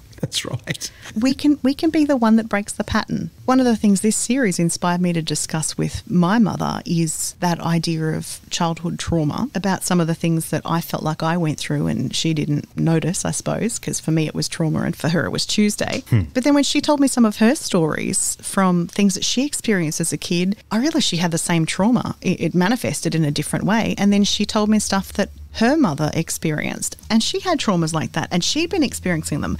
So how far back do these patterns go? Hmm. Someone has to step up and and break it have to break the cycle and we all have the power to stand up and be the one that breaks the cycle Yeah. we don't have to angrily mail letters to manipulate other members of our family into doing what we want to do. We can take our own responsibility for how we feel because it's about the only fucking thing that we have any hope of controlling. Hmm. And look at our role in things, look at how we feel about stuff. Also, you know, success comes in many forms. A lot of people would say a broken family relationship is a mark of failure. Hmm. But I disagree. There are plenty of circumstances that I've observed, not just in my own like circumstance, but there are plenty of times that I've seen where relationships have been unhealthy and that it would be far better if those people just didn't have anything to do with each other. This concept of just thrash it out and mm-hmm. we'll settle it all it's not always possible. And you don't have to continually beat yourself up to try and make that happen because we're all in different places. You know, we, we're, we're all on different paths through our lifetimes. And as much as we'd love to be everybody's friend and please everybody and be what everybody else expects of us, we're much more complex than that. And family relationships are much more complex than that. And they're not the perfect things you see on TV. No, we get sold this idea of unconditional love being something that comes from your family, like they'll love you no matter what. Um, Nope. no. We're sending cutlery in the post. Well, not, I'll tell you what's what's that's not weaponized love. Um, unconditional love does not look like if you think this is bad, push me some more, and I'll tell you what they really thought of you. unconditional That's love. That's not love. Unconditional love looks like you are where you are and you are who you are, and I accept you and love the whole of you, regardless of anything else. Yeah. Even if you're in a place where you are unlovable, I still choose to love you. And that's not a short walk. No, that's not easy. How many times have we actually genuinely experienced that? It's pretty rare because it is pretty rare. that unconditional love that we're looking for from other people, it I don't know if it exists, to be honest. Well, you know what? It might have more of a chance if individually we actually gave ourselves permission to love and value ourselves. If we make ourselves responsible for ourselves and our own happiness, and we don't make it anybody else's responsibility, what's left to post cutlery about? Yeah, I just think that unconditional love is something that we're probably all searching for. It's probably at the heart of everything that we do. We want to feel that way. And the only place we're ever going to get that is from ourselves because other people are too unreliable and have their own shit going on. So And why should it be your responsibility to make me not. happy? It's not. It's not your responsibility to make me happy. But No. If you do, hey, that's good for me. But Yeah. it's my responsibility to be happy or to be accepting of all of my emotions wherever they are. Yeah. To be fragile sometimes, to be resilient other times, to be durable other times. It's I can't choose the behavior that you're going to show, can't often choose the circumstances. I'm sure that Ukrainians never would have chosen to be fighting for their lives in a war. Hmm. But I suppose the only point of control is that you can try and choose your response to it and how you feel about it and what happens next. And it does take action. It's not It's- a passive thing. No. It is a never ending cycle of receiving another piece of cutlery at a time every day and saying, this fork affects me less than this spoon did. And this, you know, the knife feels better than the fork. And then, you know, the bowl feels better than the knife. And eventually you've got a whole set and it doesn't matter. By the time you get to the mug, it's all good. So, um, did we just have a breakthrough? I thought we said we did all of our processing before we started recording, I but I feel like we might have hit on something really important. I think, I think you, I think you actually gave me therapy in situ. Live therapy. Live therapy, Live therapy. recorded for you. Um, I mean, there's certainly unlocked some food for thought, hasn't it? These interviews that we're having and that we're actually now sowing into our own journey. I just don't think the learning ever ends. You know, I think growth is something that isn't an end point. I think growth is something that's continual. amazing food for thought. I mean, it mm. obviously meant so much to us that Reframe of Mind became the series title. You know, that idea of us being able to reframe the way that we think about things, that we have the power of our thoughts and we can change that instead of being at the effect of our emotions. Yeah, look, we've maintained certainly up to this point, and we will continue to mm-hmm. maintain. It'll be a hill that we die on. That emotions are nothing to be ashamed of, but there comes a time when we definitely want to feel more of the good stuff wherever we possibly can. The thing is, though, hmm. reframing our thoughts is possible, changing mm-hmm. them is possible. Hmm. So why don't we do it? Hmm. And we have the capability. We sometimes have the capability. We sometimes make the change. We do it in some mm-hmm. areas and not in other areas. I suppose as a human, we have the potential to do it, but we don't. Yeah, it seems we kind of get stuck in these loops sometimes, you know, like the, the story I was telling earlier about the mail. So here's my spin on on mm-hmm. that situation because if I had simply chosen as I did to start reframing that relationship and my relationship to it and that kind of stuff, for the months that followed, I wouldn't have been waking up at three o'clock in the morning thinking, oh, having those thoughts about that situation or that interaction. It wouldn't have bothered me that I get these little surprise things in the mail. You know, sometimes they don't even put their return address on it. Or actually, they never put their return address on it. And sometimes they actually use a printed sticker rather than handwriting. So, you know, there's just that added element of surprise of the little, you know, It's a, it's an emotion, Emotion bomb. bomb. It's a It is it's, an emotion it's a little bit of weaponized love. You never know when it's going to explode in your face. Aw. Long time since something exploded in my face. Anyway, um, what I'm saying though is that if I was simply able to choose to just go, yeah, I've reframed it, I'm fine, move on, that's toxic positivity because, yeah, I can reframe it, but the fact that I'm actually still coming back emotionally at that point and being triggered by something somebody said or something somebody did, it, it tells me that there's something else going on there. You know, there's something pulling me back there that I also need. Maybe it needs a reframe. Maybe there's something else. There are so many tools out there to help us, right? It is entirely possible for us to reframe almost anything, but we need to make sure that that reframe isn't just sticking a big fucking band aid over it and pretending it doesn't exist mm. because it's only going to wake us up at three in the morning and keep getting bigger and bigger and bigger until we end up on the floor of the shower or worse. Yeah. Let's get down to it. Next episode, you know, why are we repeating those old behaviors and thought patterns? Why are we addicted to the old ways that we've done things? Why are they so hard to break? Yeah, look, it really got me wondering because you know, here I am. I know that it's not good for me, but my brain insists on taking me back to these places, you mm. know, at this point in time. And so I wondered maybe like someone who has a problem with drug or alcohol abuse, with addiction in those substances, I wonder if there's any link from a brain chemistry point of view in the way that our brain actually handles this sort of anxiety. So, next time on Reframe of Mind, We talked to Maree Teesson, AC, from the Matilda Centre to explore how addictions can grip us. We do get caught up in the shoulds, and as you were talking then, I was thinking, yeah, people feel like they should be able to get better or it shouldn't be like this. And part of the responding and treatment for alcohol use disorders and for drug use disorders is around helping us to see our way through those mind traps.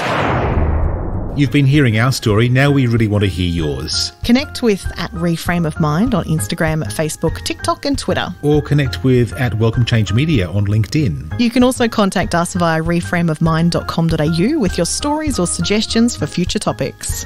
We'd like to thank today's guests for sharing their personal stories and insights. And for more information on any of the subjects, guests, or references used in this episode, please see our show notes or reframeofmind.com.au. Reframe of Mind is a Welcome Change Media production.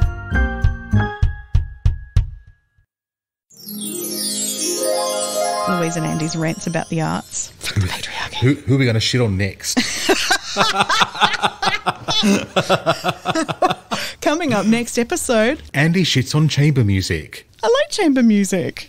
I do too. That- wasn't my point. I remember one day at school when someone turned up from, I think it was from the local council, and they had all these trained dogs with them, and one of the dogs was jumping through the hoop, and it was like, "Here you go, fetch the meaty bite," and it's literally like we're fetching a meaty bite by jumping all through all these hoops. We're not getting a meal at the end of it. We're getting a fucking meaty bite. I want more than a meaty bite, and I don't want the fucking rings on fire. That's going on the coffee mug in the merchandising when we sort it out. I want more than a fucking meaty bite. That can be filed under Andy's angry analogies. analogies of anger with Andy Leroy. Makes me madder than a chamber pot. I've never heard that. As angry as a chamber pot. Is that a chamber music pot? No, I just made it up. wow. Ah, so you're making up. I um, I'm, I'm making, making up up analogies. You're making up similes. As angry as a chamber It's pot. angry as a chamber pot. Ooh, that's angry. Wouldn't you be angry if someone kept taking a shit in you, though? Yeah, I would. I would. Some people pay a lot of money for that, but I'd be uh, angry. I know. I read a story about that the other week.